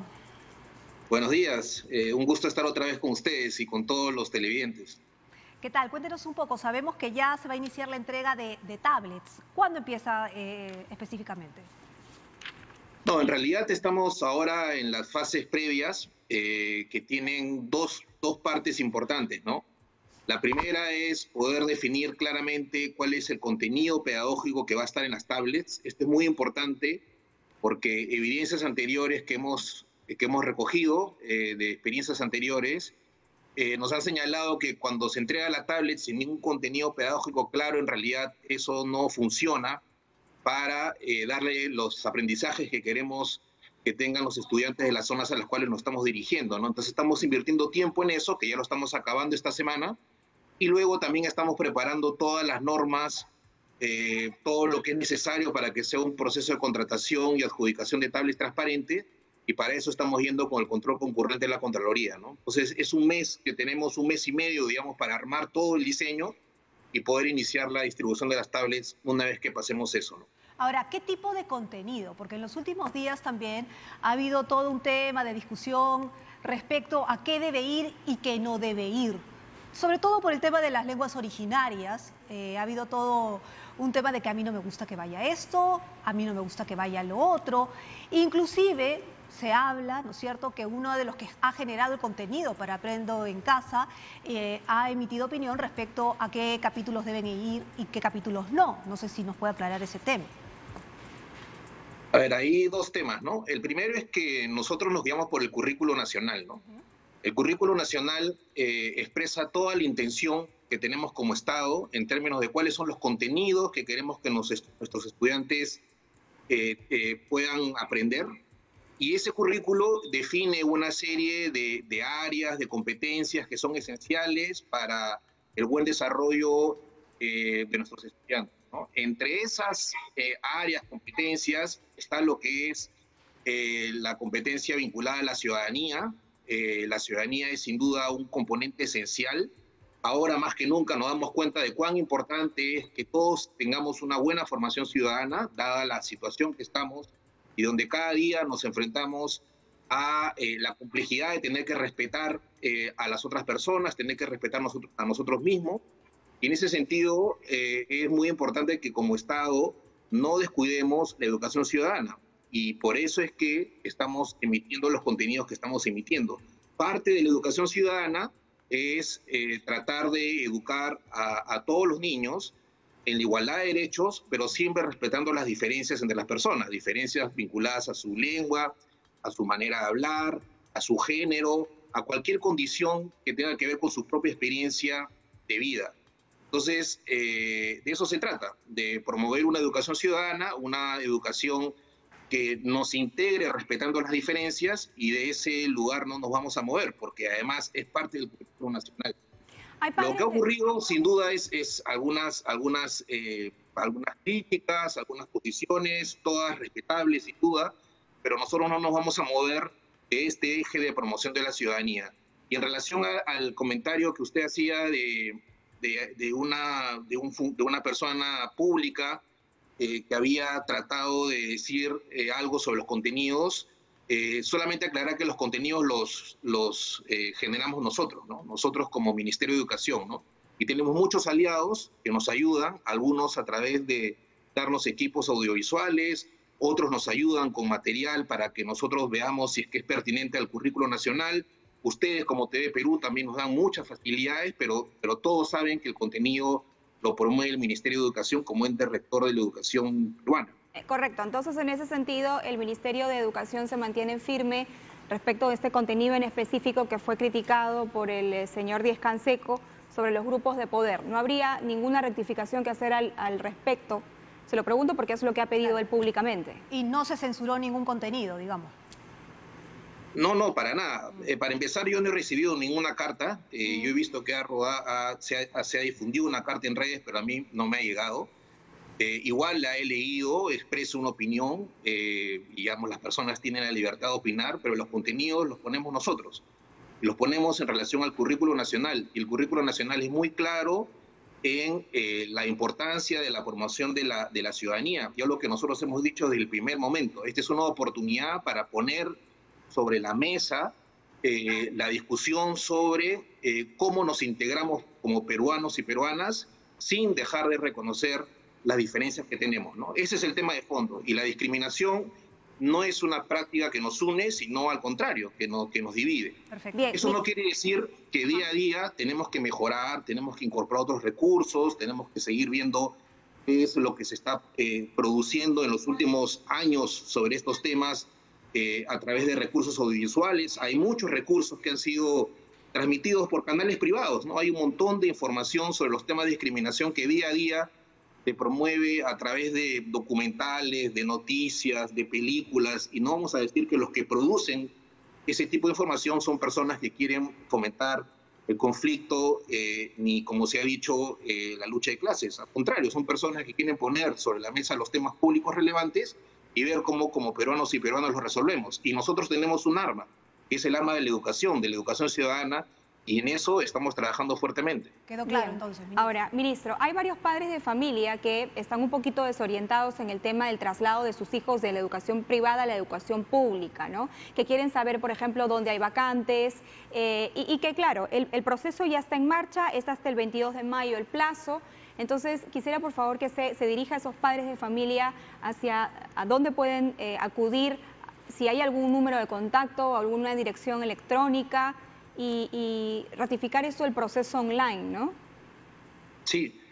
Bueno, y decirle a esos padres, esas madres, eh, que nosotros en primer lugar lo que queremos es que busquen llegar a un acuerdo con las instituciones educativas privadas donde están sus hijos o hijas. Queremos, digamos, que se mantenga esa relación de largo plazo eh, y para eso hemos tratado de fomentar instrumentos legales que promuevan una mejor, eh, un mejor diálogo entre, entre ellos, pero si por razones que ya son ajenas a la voluntad y que tienen que ver con, con su economía, que entendemos perfectamente está en una situación difícil, nosotros como Estado estamos eh, atentos a eso y hemos diseñado rápidamente esta este aplicativo eh, que está en la página web del Ministerio, Matricúlate en línea, eh, donde pueden ellos ingresar, poner sus datos, tienen hasta el 22 de mayo, ya hasta el día de ayer teníamos aproximadamente 85 mil personas que estaban solicitando traslados. Y esto es un proceso transparente, eso es un, es un proceso público, no tienen que llamar a nadie, no tienen que buscar ningún tipo de, de contacto, esto es totalmente transparente es igual para todos. Le hago una pregunta puntual. De la mejor manera que podamos. Ministro, una pregunta puntual. ¿Qué pasa con una madre de familia que hasta marzo tenía a su, a su niña en un colegio particular? Eh, de pronto no canceló la pensión, pero ya quiere migrar al sistema público porque no va a poder asumir eh, la pensión durante el 2020 ni en adelante digamos, el colegio tiene que emitir, el colegio particular tiene que emitir algún tipo de certificado, se le pueden retener los documentos. No, los colegios privados están obligados a, darle la documentación necesaria a esa mamá. Eh, nosotros lo estamos poniendo muy en claro en la, en la, en la página web. Así no haya pagado el mes de marzo. o tenga alguna deuda pendiente en ese colegio particular? Claro, el tema, el tema de, la, de, la, de la deuda este, es algo que tenemos que reglamentar, porque hay varias situaciones ahí, digamos, que se tienen que resolver. Nosotros tenemos eh, unos días más para reglamentar el decreto legislativo, pero no es, eso no es un impedimento para que la mamá vaya a la página web, eh, emita su, su, consulta, eh, busque su, su, su traslado y eh, nosotros vamos a ver cómo atender el caso, ¿no? No, hay, no, no, se puede eh, limitar eh, esa voluntad de esa mamá para que pueda hacer su traslado. Nosotros la vamos a recibir. Muy bien, vamos a empezar entonces con, como siempre, las preguntas de, de los niños, que ya están bien filudas en los últimos días, ¿ah? de verdad sorprenden. Son, ellos los que reciben el servicio, entonces de Aprendo en Casa no pueden ser mejores periodistas y críticos en este momento. Así que vamos a conversar vía Skype con la primera alumna. Ella es Yajaira Maite Jiménez Valer, tiene 14 años, desde Tacna. Es estudiante de tercero de secundaria. Yajaira, buenos días, bienvenida a Diálogo Abierto. ¿Cómo estás? Bienvenida.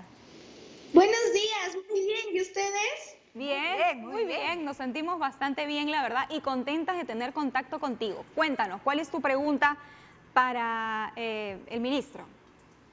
Pues la verdad tengo dos preguntas.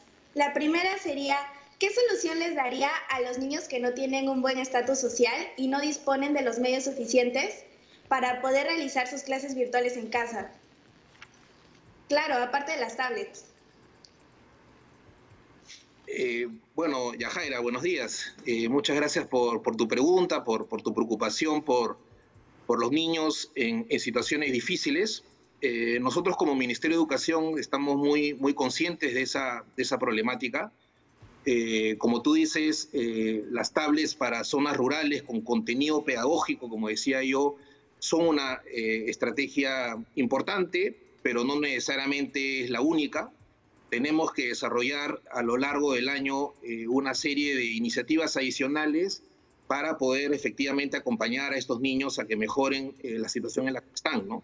Eso pasa por eh, tratar de acercar más a sus docentes, tratar de hacer llegarles a esas zonas los cuadernos de trabajo, a lo que hemos estado haciendo en zonas rurales de manera muy intensa, a pesar que las situaciones, Yajaira, son difíciles para poder distribuirlos, ¿no? Porque hay zonas donde hay ahí está el, fenómeno este de la, de la pandemia, está muy complicado y a veces es difícil, digamos, que se den los traslados, ¿no?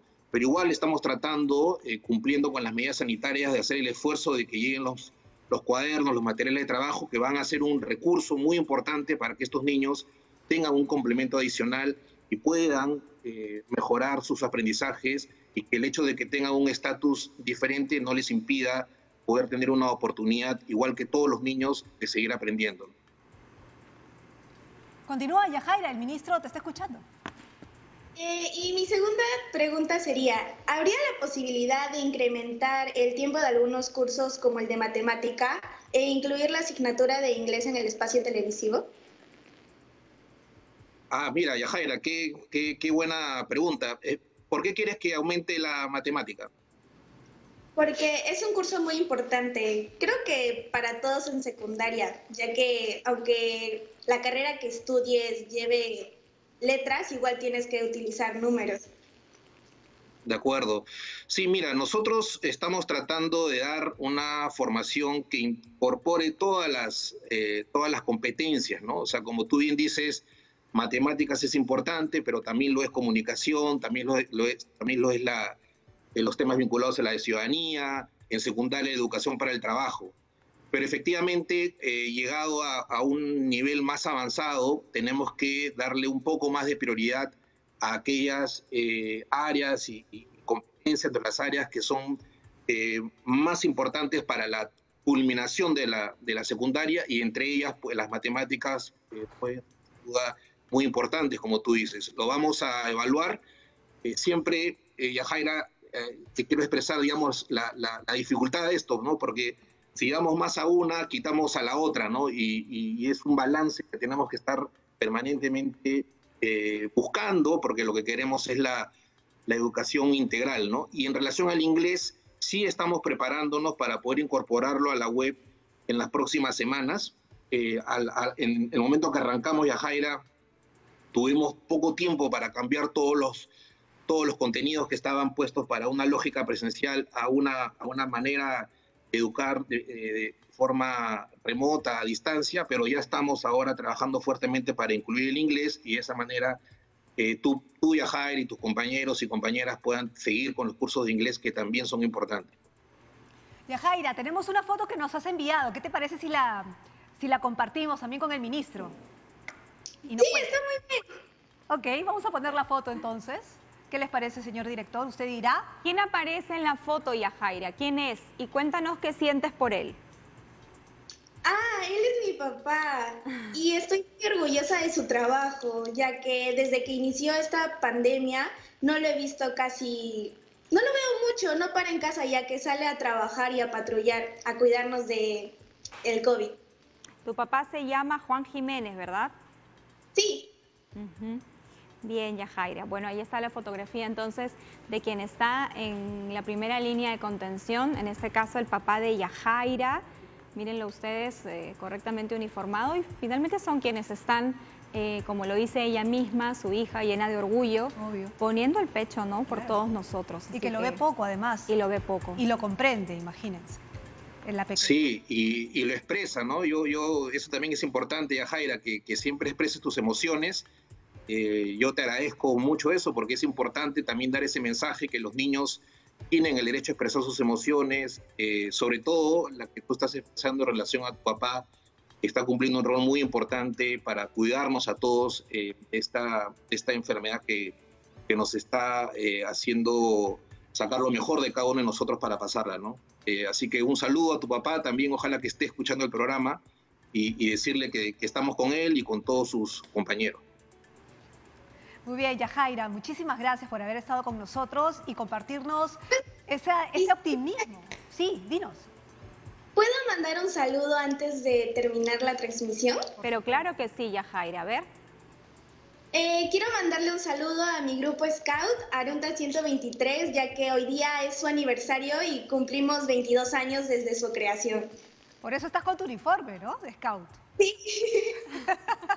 Qué lindo, Yajaira. Felicidades para ti, para tu grupo de Scouts, que sigan con esa, con esa alegría, con esa curiosidad y con esa responsabilidad también social, ¿no? Que desarrollan los grupos de Scouts. Gracias, Yajaira, por tu comunicación desde Tacna. Muchísimas gracias. Nos vemos. Ministro, mire, ¿qué piensa? Mucho optimismo, ¿no? Bueno, importante, ¿no? Importante el optimismo de los niños, de las niñas, de los adolescentes para este momento, eh, pero sobre todo, digamos, fíjense todos los temas que hemos podido conversar con Yajaira, ¿no? Yajaira ha expresado una, una preocupación académica, ¿no? Por las matemáticas, el inglés, ¿no? Y ha dicho que es importante tener una formación en todas las áreas. Ha manifestado una preocupación por personas eh, con una condición socioeconómica distinta a la de ella probablemente, una, una, preocupación por los estudiantes de menos ingresos, y ha manifestado sus emociones. O sea, imagínense, la, digamos, todos los componentes que acabamos de, de recorrer en la, en la, comunicación con Yajaira. ¿no? Esas son las cosas que eh, esta experiencia que estamos pasando nos está permitiendo eh, poder reflejar, transmitir, que antes no lo hacíamos. ¿no? Antes no teníamos la oportunidad de escuchar a una niña como Yajaira que se exprese de todos estos temas con, con toda la, libertad que, que, ella tiene, ¿no? Y eso la verdad que es muy, muy importante, muy positivo en este momento, ¿no? Vamos a ver a continuación, recuerde que estamos en simultáneo también por Radio Nacional, conversando con el ministro de Educación a esta hora de la mañana, 9 con 28 minutos. Vamos a ver el video de la semana de otros niños que al igual que Yajaira están contentos de aprender.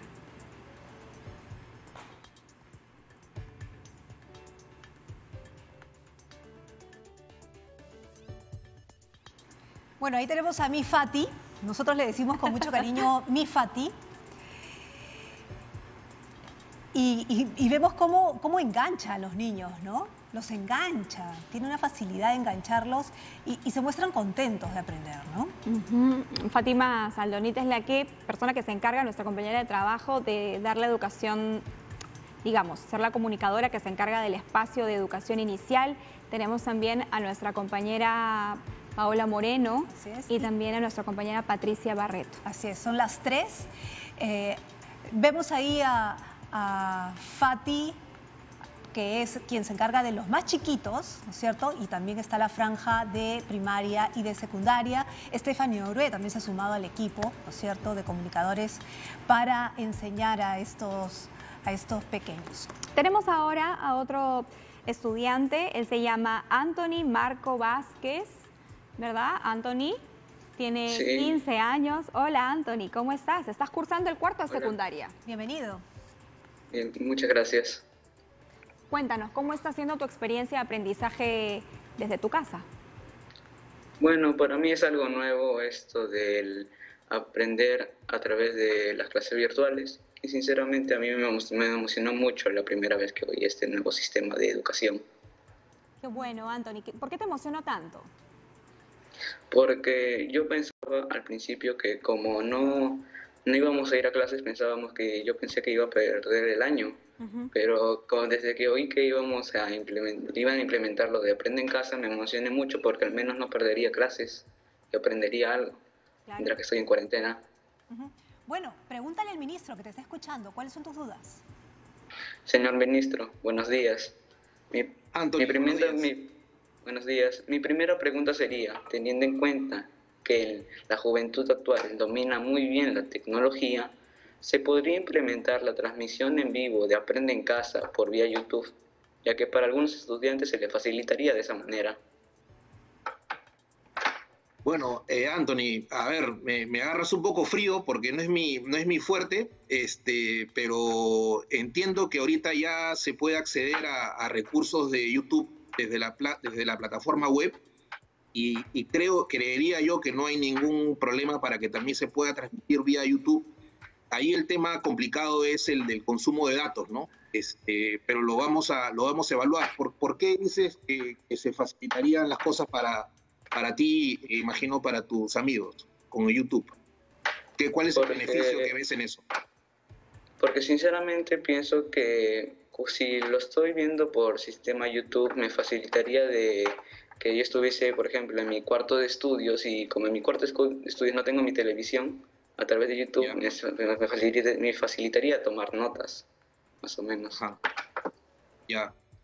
Bueno, lo vamos a evaluar. Eh, yo entiendo que sí, eh, que sí se podría. Habría que ver el tema del consumo de datos, pero digamos, lo que estás buscando tú es una, eh, una mayor facilidad para que puedas desarrollar tus, tus, clases y en ese sentido vamos a ver la, la manera de poder ayudarte en eso, ¿no? es importante además y, te agradezco mucho, Anthony, las palabras que has tenido al inicio de eh, haber evaluado que esta estrategia Aprendo en Casa eh, te ha puesto contento este, porque estás pudiendo continuar con tus aprendizajes. Esa ha sido la idea, Anthony, de, todos nosotros, del gobierno, del Ministerio de Educación, de las comunicadoras, de todos los que estamos detrás de, este esfuerzo, de que ustedes no pierdan la oportunidad de seguir eh, teniendo eh, sus clases de una manera distinta, de la que todos estamos aprendiendo, así como tú dices que, no sabías cómo hacerlo porque es un tema nuevo, eh, para nosotros también es nuevo, ¿no? Todo esto es nuevo, Anthony, pero estamos poniendo todo lo mejor de nosotros para que salga bien, ¿no? Y, la verdad que comentarios como el tuyo nos, nos, nos emocionan y, nos, nos, llevan a, a seguir haciendo las cosas con mucha más energía y mucha más fuerza para que ustedes estén contentos. A ver, Anthony, también tienes tu papi que es militar, ¿no? Y has querido enviar una foto de él. Sí. Vamos a compartirla. Sí, ¿te gustaría decirle algo aprovechando las cámaras de TV Perú y Radio Nacional porque estamos en simultáneo, Anthony? Bueno, aún así pienso que mi papá es una persona muy trabajadora que a pesar de tener la posibilidad de contagiarse por el COVID-19, aún así sale adelante, sale a trabajar y siempre cada vez que regresa a la casa tiene miedo de que contraer la enfermedad y la contagiemos en familia. Pero aún así siempre toma las medidas necesarias para que no nos contagiemos tanto a mí como a mi hermano, menor que sufre de asma. Oh, Anthony. Sí, bueno. Eh, efectivamente tu papá hace una labor muy importante, ¿no? Muy importante para todos nosotros en realidad. Y desde aquí también queremos darle nuestro reconocimiento. ¿Cómo se llama tu papá? Marcos Vázquez Ignacio. Marcos Vázquez.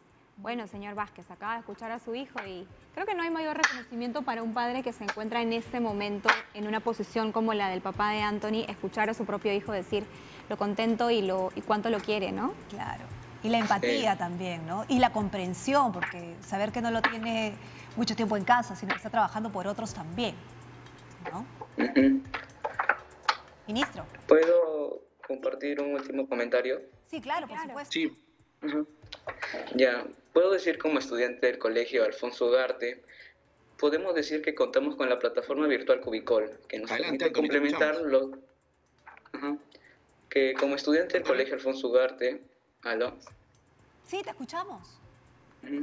Puedo decir que como, como estudiante del colegio Alfonso Ugarte, contamos con la plataforma virtual Cubicol, que nos permite complementar lo que nos enseñan en Aprende en Casa estudiando todas las materias y, tener, y teniendo la opción de tener clases en vivo con los profesores. Y sería bueno que los demás colegios también empleen este sistema. Ministro. Eh, qué importante lo que acabas de decir. Eh, efectivamente, eh, hay una serie de plataformas que son importantes para lo que tú precisamente has señalado, ¿no? Para que los docentes puedan estar más cerca de ustedes. esto, es, esto es clave. O sea, aquí esto solamente va a funcionar en la medida en que tengamos a docentes que están cerca de ustedes, que les dan la retroalimentación necesaria. Y eh, la plataforma que tú has mencionado es una que estamos evaluando, y, al igual que otras, para poder eh, dar ese, ese servicio que tú estás diciendo que es importante para, para ustedes. ¿no? Yo, la verdad que estamos en esa línea y vamos a ver qué, qué podemos ofrecer pronto. ¿no? Y, también saludar a, tu papá, Anthony, también este, eh, felicitarlo por las medidas que toma. Eh, es importante, digamos, eh, que esto sea así. Creo que es un ejemplo para lo que va a venir en adelante, ¿no? Que finalmente, en la medida en que todos tomamos, tomemos las medidas importantes de precaución, vamos a poder convivir, digamos, con, con, este virus sin que este virus nos, nos, nos haga sufrir más de la cuenta, ¿no? Entonces, es importante, lo que hace tu papá, eso es algo que entiendo yo que lo hacen, eh, lo hacemos, ¿no? Todos los, los, funcionarios o, las personas que estamos saliendo permanentemente fuera de los hogares a trabajar, ¿no? Así que un abrazo a tu papá y un abrazo a ti también, Anthony, por tus preguntas, tus ocasiones. Muy bien, Anthony. Sí, muchas gracias. Mil gracias por haber estado con nosotros, te vamos despidiendo eh, y bueno, nada, sigue estudiando, ya estaremos conversando. Gracias, Anthony, por comunicarte con eh, nosotros. Bueno, vamos a, continuación ahora, mientras tomamos contacto con, con otra persona también importante, ¿no? Queremos también no solamente tener la voz de los alumnos, que son quienes, como ya lo dijimos, reciben el servicio en casa, sino también los profesores, quienes son los que se han reinventado en esta nueva etapa. Bueno, por ejemplo, eh, lo que estamos viendo en pantalla es una particular docente de educación inicial que se ha ganado el corazón y admiración de numerosos niños de la región Tacna. Mírenlo ustedes cómo, cómo da sus clases. Se trata de María Luisa Choque, quien eh, desde hace más de 20 años se dedica a la docencia. Ella transmite sus enseñanzas a través de didácticos eh, cuentos para los cuales utiliza disfraces títeres y sobre todo mucha imaginación. Para ella, el dictar clases de manera virtual eh, no ha sido un impedimento debido a que gracias a su metodología de enseñanza logra captar la atención, la atención de todos sus alumnos de ¿no? del plantel de donde viene dando clases. Ahí la tenemos entonces reinventándose cada día, buscando nuevos elementos, nuevas estrategias para poder llegar a sus alumnos. Vamos a escucharla. Mi intención en, esta, en este momento de, la situación que estamos viviendo, pues este, fue que hacer estos personajes que yo sí, o sea, lo trabajo de esta manera, es una estrategia que yo utilizo en el aula eh, con mis niños, ¿no? O sea, llevar personajes, eh, trabajar con títeres, eh, utilizo muchos recursos para mantener a los niños motivados, ¿no? Entonces, ahora que estamos en esta situación, pues trato de llevar eso, o sea, que se sientan así como, como lo hacíamos en el aula, ¿no? Me encanta, me encanta porque, bueno, soy mamá de una niña en nivel inicial y la verdad es que hay que tener toda una mística especial, sobre todo para tratar con los más pequeñitos y lograr captar su atención y que aprendan lo que se les está brindando, ¿no? La información que se les está dando. Así que desde aquí, nuestro saludo a María Luisa Choque, profesora de TACNA, que cada día hace que su digamos que su título de profesora sea tan, tan bien llevado, ¿no? Con esa alegría y con esa predisposición para los más pequeños. Ahora, ministro, ¿por qué la educación inicial en nuestro país tiene esa mística, ¿no? Tan especial que no se ha visto mucho en nivel primaria o secundario. Bueno, acá hay una, una, tradición fuerte ¿no? de educación inicial. Hemos tenido muchas educadoras, importantes, ¿no? Desde que se, originó la educación inicial hay un movimiento por la infancia muy, muy grande, hay una preocupación permanente por, por, los niños, por las niñas, que nos ha llevado, digamos, a, tratar de expandir, digamos, la, cobertura de la educación inicial y a plantear una agenda permanente de trabajo, ¿no? Efectivamente hay una mística importante eh, que a pesar de las dificultades que están teniendo profesoras como, como la que acabamos de, ver, están tratando de sacar todos los recursos con los que cuentan, los recursos, digamos, que no implican necesariamente eh, elementos materiales que, cuestan mucho, mucho dinero, ¿no? sino inventar, transformar, eh, reciclar eh, recursos para poder mantener el vínculo con los estudiantes, ¿no? que es sin duda lo más importante, ¿no? el vínculo entre los profesores y los alumnos, a pesar de la distancia, se tiene que se tiene que mantener y, digamos, estrategias como, como las que nos ha mostrado la profesora son sin duda importantes para eso. Claro que sí. Vamos a conversar o, vamos a ahondar un poquito más en el tema de la educación inicial y queremos escuchar a una actora importante. Ella es otra profesora, es además directora de eh, educación inicial del Colegio Luis Enrique eh, que está ubicado en el RIMA, que pertenece a la UGEL 2. Estamos ya con la profesora Leonor Torres. Profesora, buenos días y bienvenida. Bienvenida. Bueno, buenos días, buenos días al señor ministro Martín Benavides, al equipo de Diálogo Abierto de TV Perú. Muchas gracias por la invitación. Hablábamos, sí, hablábamos un poco de la, de la mística, de la particularidad que debe tener la educación inicial para en estas circunstancias lograr captar la atención de los más pequeñitos, que se ha convertido en un reto bastante grande para ustedes como maestras. Por supuesto, nosotros atendemos a los primeros ciclos y creo yo firmemente que hemos elegido la, profesión con mucha vocación.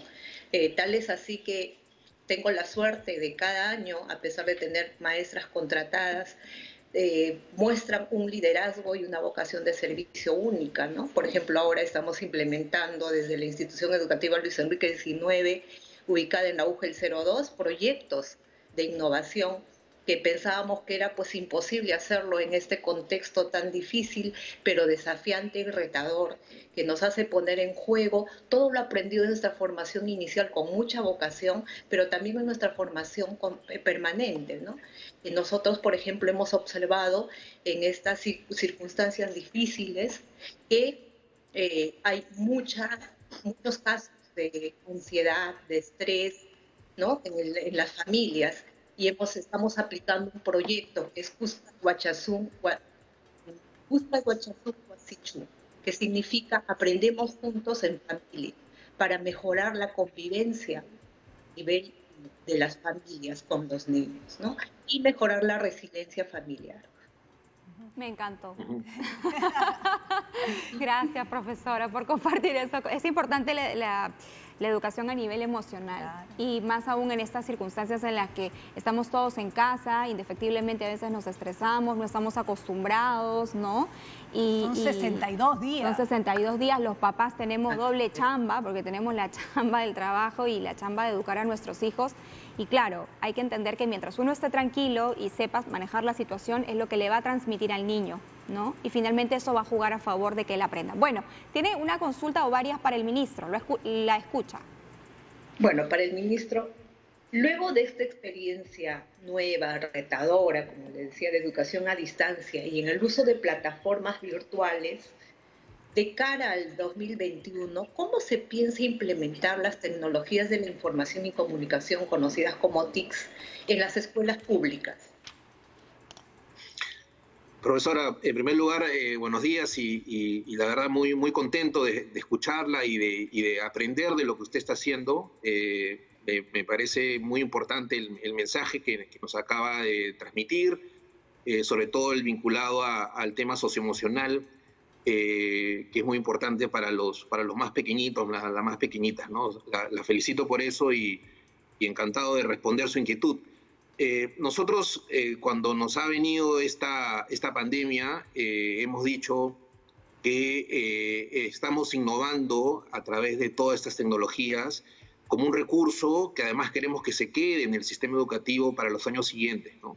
Parte de esa estrategia, por ejemplo, es darle mucha más importancia a la que ha tenido a nuestra dirección de tecnologías educativas. Queremos darle peso, queremos que sea nuestro lugar de innovación queremos que, esté, que, nos ayude, digamos, a poder diseñar una estrategia ya más estable de uso de tecnologías cuando retorne la presencialidad, de manera tal que sea una estrategia eh, complementaria en, los lugares donde la educación sea presencial y central en aquellos lugares donde probablemente tengamos todavía que continuar con una estrategia semipresencial.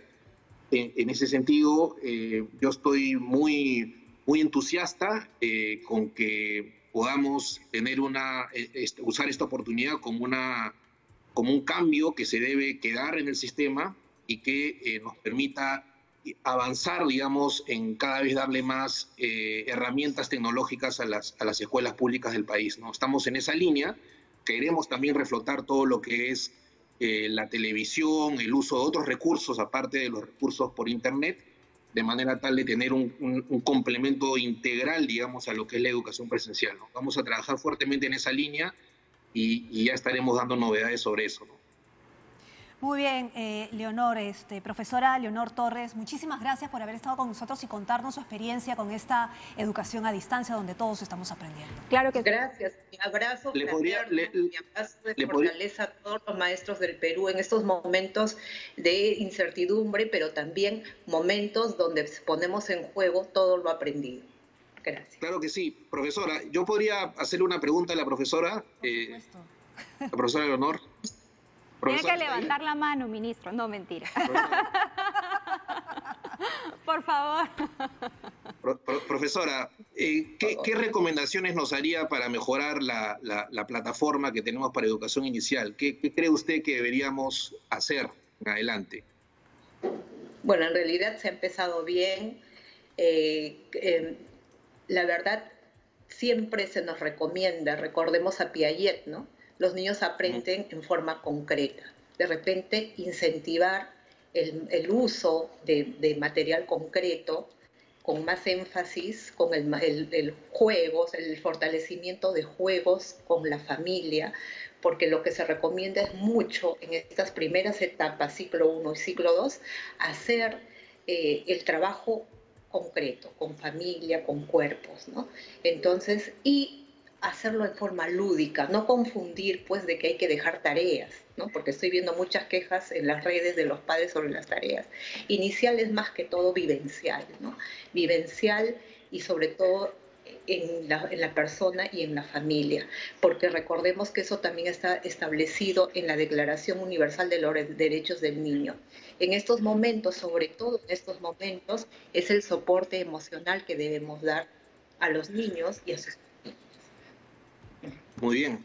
Muchas gracias, profesora. Tomamos nota. Son bien importantes las recomendaciones que nos hace y vamos a trabajar fuertemente en esa línea que usted nos acaba de, señalar. Gracias, profesora Lono, por todo su trabajo y sus ideas. Muy bien, profesora. Nos despedimos de usted, todavía no del ministro, porque con el ministro vamos a revisar juntos los horarios que vamos a presentar aquí, por supuesto, los horarios de Aprendo en Casa.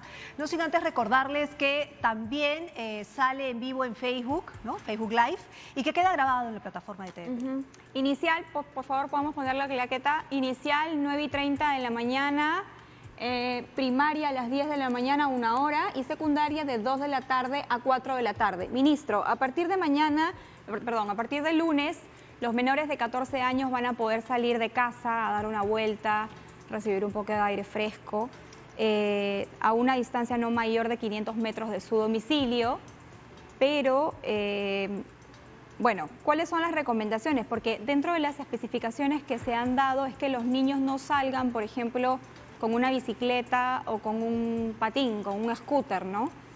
Eso es algo que, se, ¿Por qué se ha tomado esta decisión? Se lo pregunto porque, claro, sale un niño y quizá quisiera hacer también un poco algo de ejercicio, una bicicleta bien desinfectada o un scooter bien desinfectado no tendría por qué ser mayor riesgo para su salud, siempre y cuando el padre se comprometa, por supuesto, a tomar todas las precauciones del caso. Más aún ahora que se está fomentando el uso de la bicicleta en los adultos como medio de transporte. Sí, bueno, en realidad esta es una medida que hay que eh, pensarla de manera equilibrada, ¿no? Por un lado, eh, la necesidad emocional de tomar aire de los niños y niñas y por otra parte está todo el tema de la, de la problemática de, la salud que no ha dejado, digamos, de estar todavía en nuestro contexto, ¿no?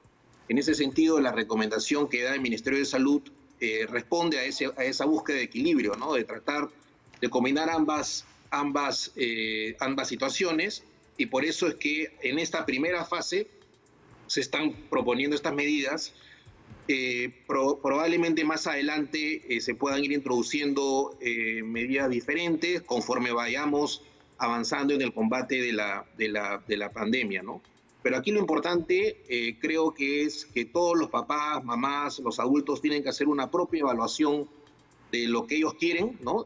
tienen que evaluar, digamos, si es que se sienten cómodos con, con salir, si es que deciden salir, que lo hagan con todas las medidas del caso, eh, siempre en, una situación de, distancia de dos metros, eh, caminando, sin ir al mercado ni, ni, a lugares, digamos, donde pueda haber riesgo de contagio. ¿no? Creo que en la medida en que lo hagamos bien, va a ser una, una prueba para todos, ¿no? porque finalmente esta medida no solamente va a permitir a los niños salir a tomar aire, sino a los adultos también empezar a interiorizar eh, estos, eh, estas maneras, estas nuevas, nuevas normas de convivencia que tenemos que empezar a promover, ¿no?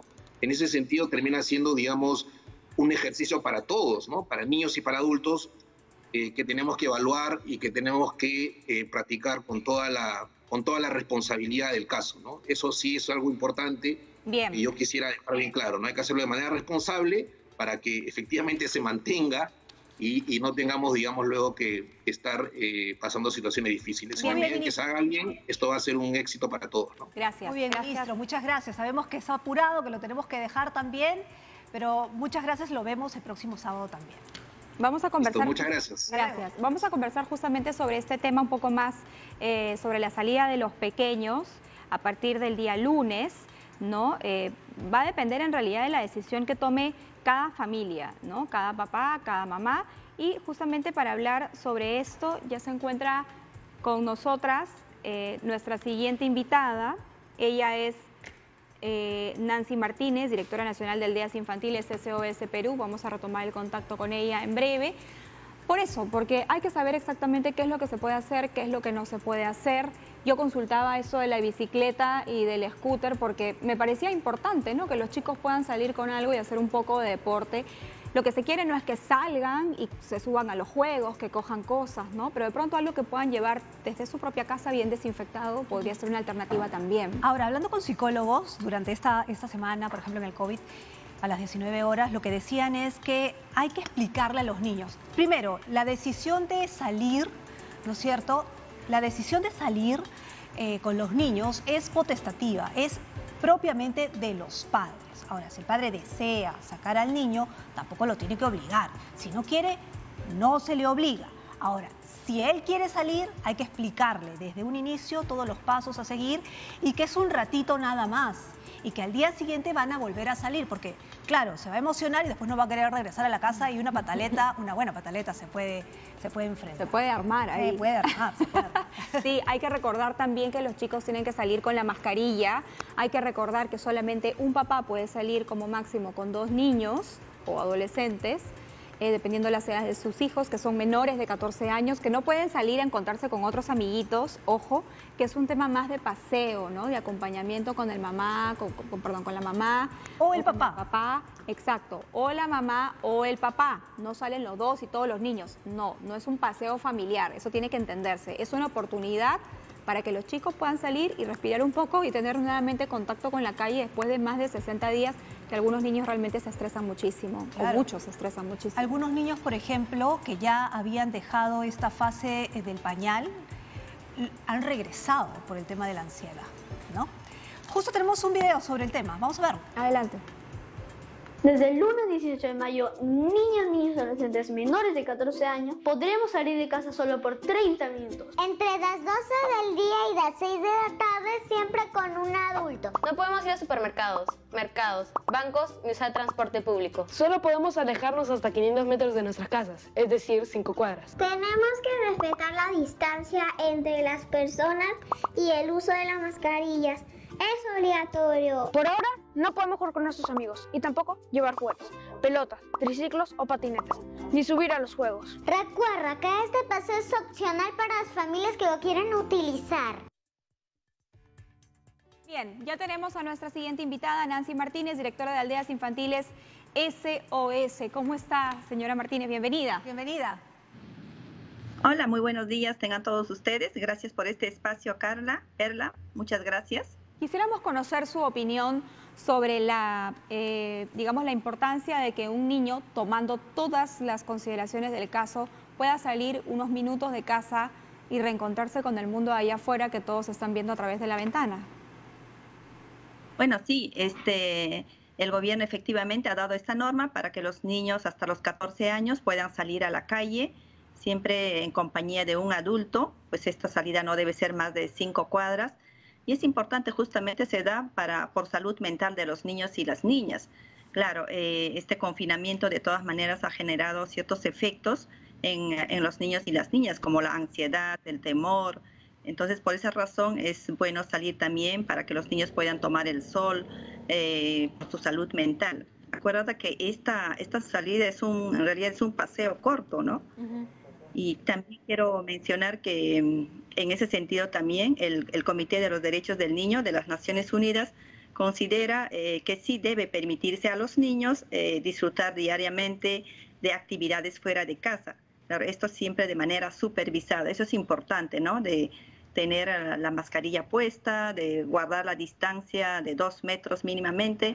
Entonces, de esta manera estaremos también eh, contribuyendo para que los niños tengan una calidad de vida ¿no? y bienestar. Claro, las imágenes que tenemos en pantalla no corresponden, eh, digamos, son imágenes de apoyo como lo conocemos en televisión, son imágenes pasadas. Los niños en realidad no deben salir así, ¿no? No deben salir sin mascarillas ni con pelotas. Eso es algo que se ha dicho bastante claro y lo reforzamos porque no, no quisiéramos que surja algún tipo de confusión. Quisiéramos saber desde su experiencia a nivel emocional y psicológico cuál es el beneficio que puede sentir un niño que sale unos minutos a la calle y eso, deja la casa donde está confinado hace más de 60 días. Sí, bueno, este, eh, eh, a través de esta medida lo que se trata es aliviar justamente los efectos de este confinamiento, ya que se han presentado casos de ansiedad de niños y niñas de mucho temor de salir a la calle, eh, de problemas en, el sueño y también gritos o diferentes uh, expresiones, ¿no? a veces de agresividad o de morder, etcétera. Entonces, por esa razón es que esta medida es importante también para que los niños salgan, tomen aire, tomen el sol, con todas las precauciones del caso, ¿no? De tal manera que contribuya en su bienestar emocional. Eh, es por esa razón que eh, esta medida se da eh, desde el gobierno. Ahora también ya depende también de la familia, ¿no? De evaluar, de tomar esta decisión si salen a la calle o no. Yo sé que todavía hay mucho temor, dado también las cifras, ¿no? Que de, este contagio continúa creciendo. Eh, bueno, si se toman creo que los protocolos de forma estricta, tanto para salir como también para volver a casa, creo que en ese sentido eh, se podría evitar o evitar llevar el virus a casa. No se debe sacar juguetes, ¿no? Todavía no. No, de ninguna manera, no llevar mm, scooter, patinetas, ni pelotas, nada de juguetes, ¿no? Hay que ver que los niños también por su propia naturaleza tienden a jugar, son inquietos, entonces ahí podrían tocarse, ¿no? Eh, o tocar superficies contaminadas o llevarse a la boca, eh, es muy peligroso, ¿no? Evitar, acá solamente se trata de un paseo corto, tranquilo, caminar ahí con, con el padre, la madre o una persona adulta que le lleve de las manos y con todos los protocolos estrictos o necesarios para para evitar el, contagio, ¿no? Eh, aquí, este, Carla, quiero precisar también que es muy importante eh, anticiparnos, ¿no? Antes de salir a la calle, dialogar con el niño, conversar con él de que de qué se trata este tema, esta, esta pandemia, eh, los, las consecuencias, los riesgos y poner también las reglas, ¿no? Antes de, salir y que existe este acuerdo con, con el niño y de tal manera pues se evita todos estos, uh, estos problemas, ¿no? Con, como, como sabemos, este virus es muy contagioso. Ahora, eh, yo quisiera hablar sobre el tema de la, de la violencia al interior de las familias y cómo lamentablemente el tema de la cuarentena lo ha agravado. ¿no? Eh, desde que se inició la cuarentena hasta el 30 de abril, el Ministerio de la Mujer, a través de la línea 100, ha recibido más de 5.500 llamadas por parte de niñas, niños y adolescentes que reportaron situaciones de violencia familiar y ha atendido 114 casos de violencia sexual contra niñas y adolescentes cuyo agresor es un miembro del grupo familiar. Cuando uno piensa en la cuarentena, pues piensa que el niño se va a quedar en su hogar y que es el lugar más seguro del mundo. Y lamentablemente la incidencia nos está demostrando que no es así en todos los casos y que hay una violencia bastante alta contra los más pequeños.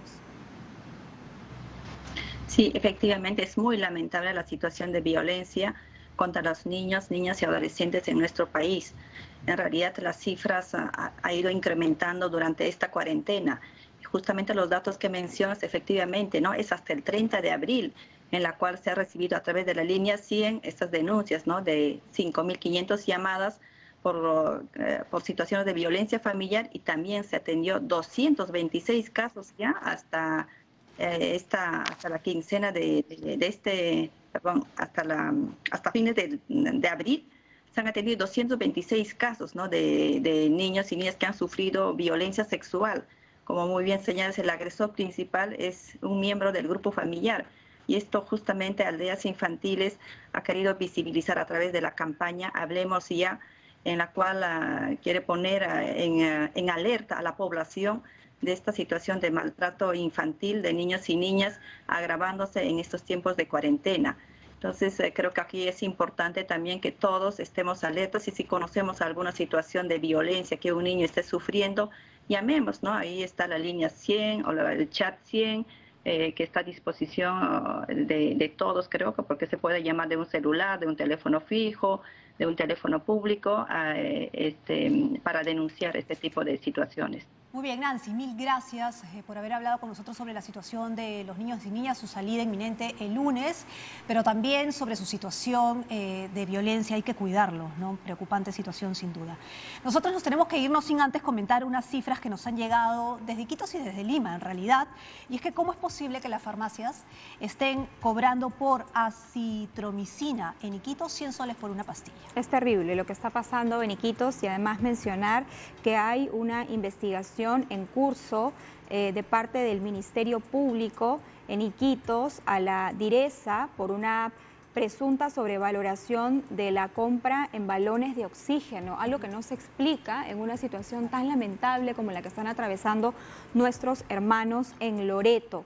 Lo cierto es que el Ministerio Público ya puso el ojo en esta investigación y es el fiscal anticorrupción Paul Peralta Chota el que está realizando esta esta indagación investiga preliminarmente las presuntas, eh, compras irregulares de 400 balones de oxígeno valorizados en 960 mil soles obtenidos de forma directa por la direza Loreto y también otras adquisiciones. Esta, esta información la recoge en la edición de esta semana la revista Careta en su versión online. Y mira, y Andina ha mencionado que el gobierno revisará la normativa sobre especulación y acaparamiento.